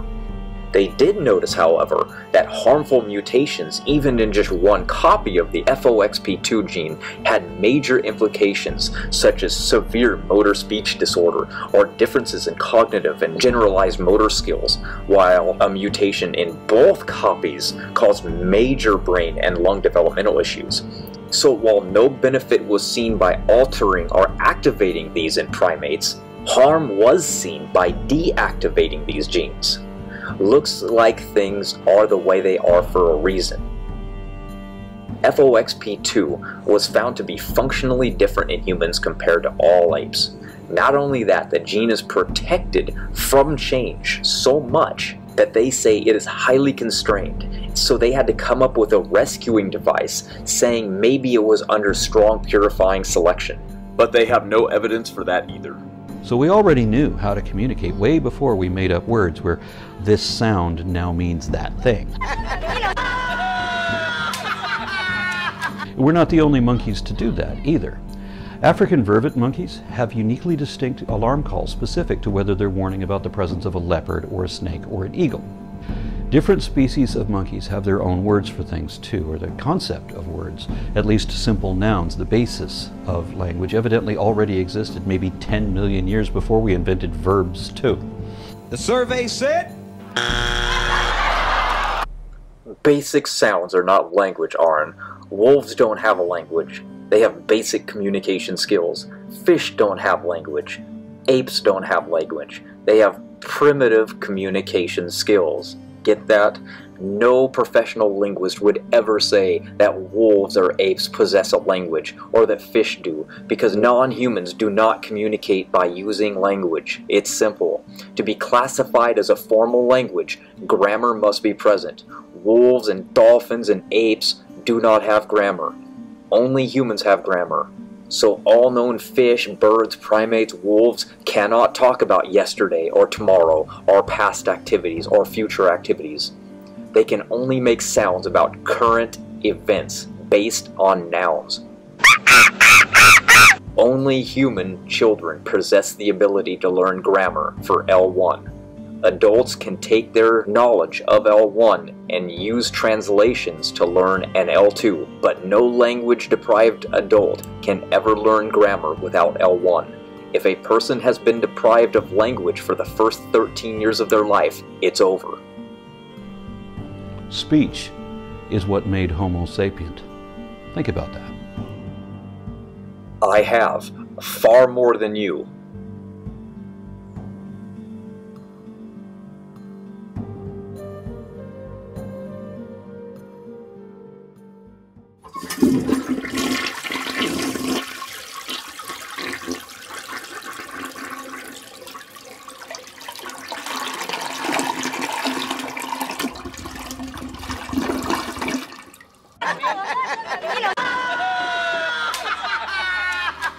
Are we different to the animals? Yes, you can run this test too. Yeah, so we're different. Yeah. So it, Well, no. We're exactly the same in every possible way. are we different to the animals? Yes, No. yes, No. yes. We're exactly the same in every possible way. And that proves my point. Why does this do this? Oh, we forgot the fan. Oh, I got, I'm sorry, Aron. I'm sorry. Here, turn the fan on there. Okay.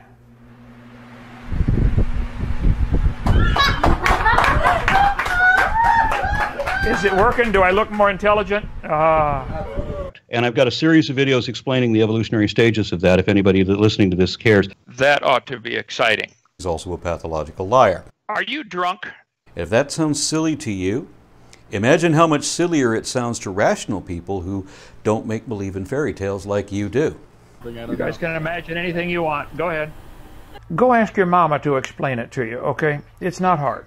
So, for you morons that are trying to distract attention, uh, of ex- uh, it's I calls himself Aron Ra, but I don't like the Egyptian goddess. I know that you call me Larry just out of disrespect, but I don't respect you either. Uh, this question's for uh, Arn. Um, you uh, you mentioned that in 20 years of rigorous research, you found no evidence. Uh, I think you said of Christianity, but no, no, no. I said in 20 years of arguing with Christians that they told me that that I'm wrong about the belief in faith, that faith is not a belief that is not based on evidence. Right? Uh, I say that faith is a belief that is not based on evidence. They all say, "Oh yeah, we have evidence." I say, "Okay, fine. What is it?" And I've always specified that I'm looking for scientific evidence. They ask, "What evidence would I accept?" I said, "How much evidence would you, would you accept?" They would ask. I said, "I'll take anything that qualifies as evidence. Any body of, of objectively verifiable facts which positively indicate or exclusively concord with that particular position over any other. In 20 years, I- I think I get- I without get- exception, Okay. there has been no one to present any scientific evidence that actually indicates the Christian God or indeed any God or in fact anything supernatural at all. Okay, I appreciate the clarification. So, you mentioned that in 20 years of rigorous research, you found no evidence of what you're looking for. But then, when Michael pressed you on naming just one scholar who defines the word faith in the way you put it, you couldn't name one. So, my question is could it be possible that your research is maybe flawed, biased, and even maybe dangerous to the pursuit of truth? I have conducted this experiment, as I explained, over and over and over and over again, having this exact conversation at least once a week for 20 years. Not one Christian ever has produced evidence. He didn't either, nor can you. No one can. It doesn't exist. That's not the I debate demand tonight. that anybody, anybody in this room who calls yourself a Christian, if you think you have scientific evidence to indicate you're God, bring it. You ain't got it. I win. The phylogeny challenge is is fallacious because it all comes down to you know where can we draw the line regarding ancestry? Where can we um, where does that phylogeny break down? But the thing is that entire argument misunderstands biology and genetics because and and theology because they seem to imagine that God created humans and then all of other, you know, biological life and that there's absolutely no similarity between humans and any other species out there. So, based on the biblical model, there's really no reason for us to believe that that's true as in, you know, there should be no type of hierarchy in in the biological world. Um, as in, you know, there's no reason to believe that we shouldn't be more similar to say apes than to another species, say a whale right? So we too predict nested hierarchies in biology, whether it's um, on an anatomical level, physiological, morphological nested hierarchies. So that's why I always say we need to look to differentiating kinds of evidence to show which explanation, limited ancestry or universal ancestry, is true. And that's where we um, can get into function, we can get into Y chromosome, mitochondrial DNA, predictions. Uh, this is how we're going to truly answer the question of, of ancestry. So, long story short, the phylogeny challenge is it's fallacious and it's based on a misunderstanding of science and theology. According to our model, uh, I'm just going to throw some, you know, kinds out there. Say humans, pigs, rats, ducks, and dogs. They're all land dwelling. Okay even though they are separate kinds according to our model, since they are all land dwelling and share many similarities with each other, they can share similar nested hierarchies or designs. So, where are we going to draw the line between those separate kinds if they already share certain levels of nested hierarchies, morphologically speaking, genetically speaking, physiologically, you know, speaking? So, that's the thing.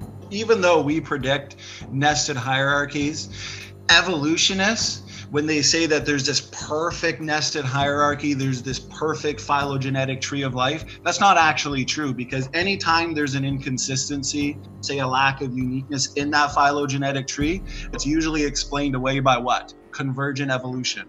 So that's a rescue device. There's also something called independent lineage sorting. If you look at different genes in, say, humans or apes or gorillas or orangutans, uh, depending on the gene you're looking, can create a totally different type of phylogenetic tree.